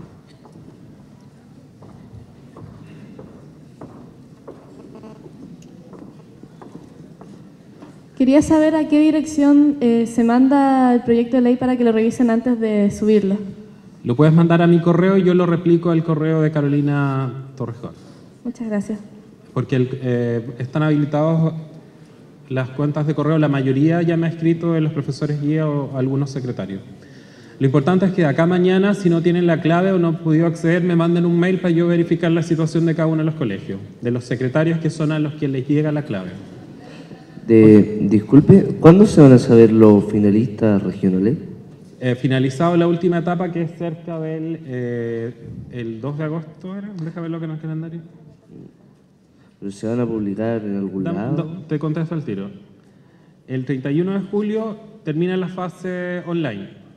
De ahí hay cerca de una semana para que puedan publicar los puntajes, que debiese ser por el 7 de agosto más menos, cosa que le queden a ustedes dos semanas de preparación. Se, se publica en internet, ustedes lo, lo van a poder ver ahí. Se me olvidó decir un detalle importante. Dentro de estas dos semanas que van a ir más o menos entre el 7 de agosto y el 21 de agosto, la Universidad de Valparaíso nuevamente va a ofrecer a los siete equipos finalistas un taller que se hace con la carrera de fonoaudiología, que es desarrollo de habilidades comunicacionales, que en el fondo para que ustedes puedan preparar mejor su presentación, porque después en la final regional van a tener que presentar el tema en dos oportunidades. Se va a hacer una primera presentación, donde ustedes van a recibir comentarios tanto del jurado como de los compañeros y ustedes van a tener que tomar esos comentarios, esas críticas constructivas, esas observaciones y reformular su proyecto. Entonces, en este periodo en paralelo los voy a contactar yo porque la carrera de fonoaudiología les va a ofrecer esta- este eh, guía, este coacheo como un valor agregado, digamos, para los que les interese. Allá al fondo hay preguntas y adelante. Cuando el equipo sube algo a la página, ¿se puede modificar después o es definitivo? La idea es que es definitivo. Eh, por eso está eh, la opción que ustedes manden antes la iniciativa juvenil de ley para que les puedan dar algunas observaciones por parte de la biblioteca y luego suben la versión definitiva. Eh, en algunos casos que han, han tenido algún error técnico, es como que tenían que subir un archivo y subieron otro, eso es fácil, me llaman, me mandan un mail, lo vemos rápido y, y se puede bajar. Pero la idea es que ustedes eh, entreguen la versión definitiva. Esos cambios lo- los, los- los hago yo en general por los privilegios que da el portal. ¿Más preguntas? Quisiera saber si el video tiene que tener una duración máxima o una duración mínima. Eh, sale una duración máxima, no mínima, pero la idea es que ustedes tomen las indicaciones para ver cómo van a, en un lenguaje audiovisual, mostrar su realidad. Y también hay penalización en el caso que ustedes pasen el tiempo. Entonces tienen que hacer todo el ejercicio de imaginarse cómo les gustaría que se difundiera la actividad. Tiempo mínimo no hay, creo, ¿cierto? No hay mínimo. Máximo sí y hay penalizaciones. El reglamento está todo. Les voy. Camila. Puedes ingres- voy al tiro con la pregunta. Puedes ingresar a clic arriba ahí donde dice reglas, para que ellos vean cómo pueden acceder al reglamento los que todavía no lo han leído. Dígame. Una pregunta, una pregunta, una, una pregunta. Dale nomás. Si, por ejemplo, si nuestro colegio llega a la final, ¿qué pasaría? ¿A la final regional o nacional? Nacional. Si van a la final nacional, eh, bueno, en general a las regiones se las invita a una estadía eh, en un hotel donde comparten con los colegios de las otras regiones del país para que estén en igualdad de condiciones porque tienen que hacer eh, muchas veces conversaciones, contar de cuál es la iniciativa para conseguir los votos de los compañeros, porque tanto en la etapa regional como en la nacional tienen que votar. Ahí tienen que votar por las iniciativas de los otros compañeros. Ahí se los invita a la final en el Congreso, donde tienen que volver a presentar el tema eh, con el apoyo del video que hayan hecho y tienen que competir con las otras 15 regiones del país. Eh, para la foto en Facebook, ¿cómo se hace? Porque bien distinto si yo la subo según mi cuenta a la gente que pueda acceder a ella. a si la subo, no sé, dentro de un grupo que creo. En el portal de, da, lo, da lo mismo. En el portal de, de Libera eh, ya está eh, funcionando, tiene un Facebook, también pueden incorporarse ahí. Sería bueno que estuvieran atentos ahí de todas las indicaciones que se van dando. Pero da lo mismo la opción. Y la hora es 23.59, ¿no es cierto? La hora límite. Sí, pero les acabo de decir que traten de no hacerlo a las No, sí, 23.59, porque si no hay problemas muchas veces. Sí. De hecho, el año pasado un equipo quedó- dejó de competir porque no lo hizo a tiempo. ¿Quedan dos preguntas más, parece? Ya. Hola, buenas. Mi pregunta es sobre el patrocinio de los políticos o personas. eh, mi pregunta es, lo- ¿las personas que patrocinan eh, tienen que ser políticos a- que están eh, actualmente en, en el cargo? ¿O pueden, o, o pueden ser personas que estuvieron pero ya no? ¿O así también eh, candidatos? Eh, María Ignacia Jacqueline, yo tengo entendido que tienen que ser autoridades electas actualmente. Candidatos no vale. Hay Autoridades electas. Actuales. Ah, ya. En el Muchas cargo gracias. en- de elección popular. Suman los alcaldes y todo eso. La- Eh, ¿En la iniciativa tendrán algún formato preestablecido de letra, número, tamaño y todo sí, eso? de caracteres y, y todo eso está en el reglamento. En la formalidad, 4.000 caracteres, está todo establecido. Muchas gracias. Si quieren lo busca ahí. Y la última pregunta parece que era adelante y con eso finalizamos. 60 segundos la duración máxima del video.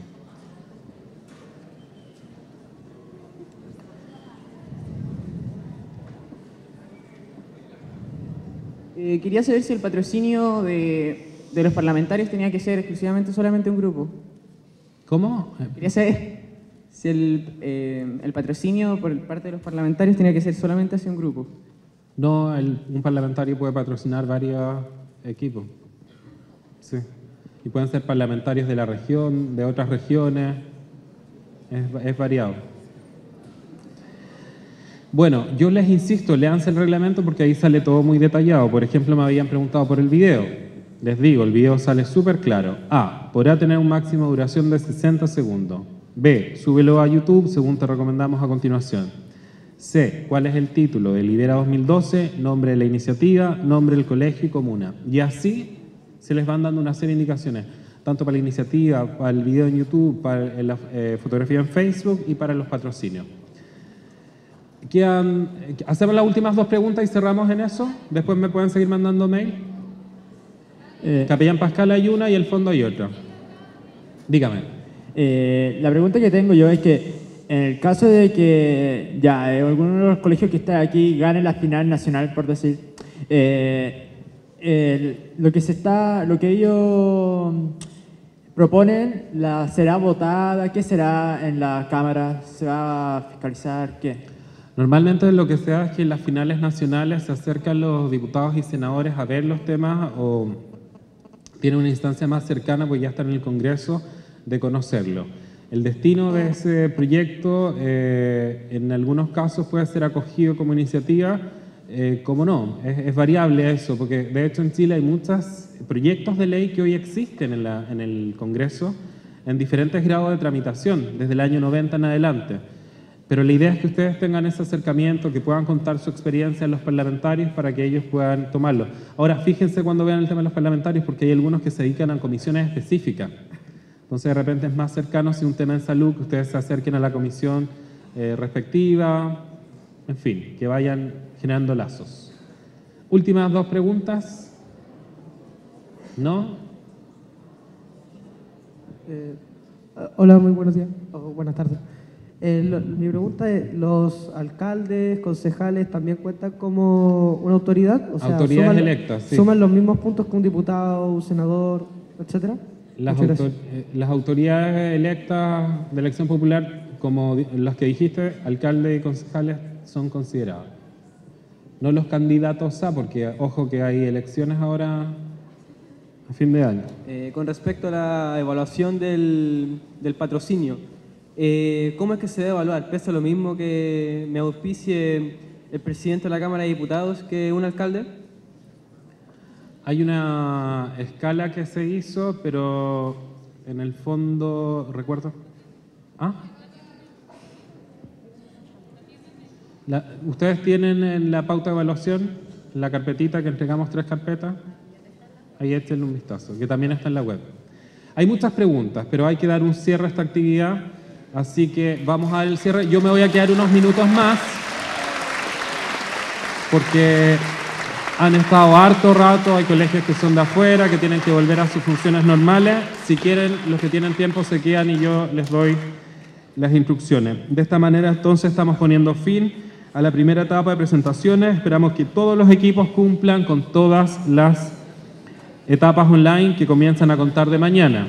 Les recordamos que solo siete colegios pasan al final el 21 de agosto, final regional. Muchas gracias.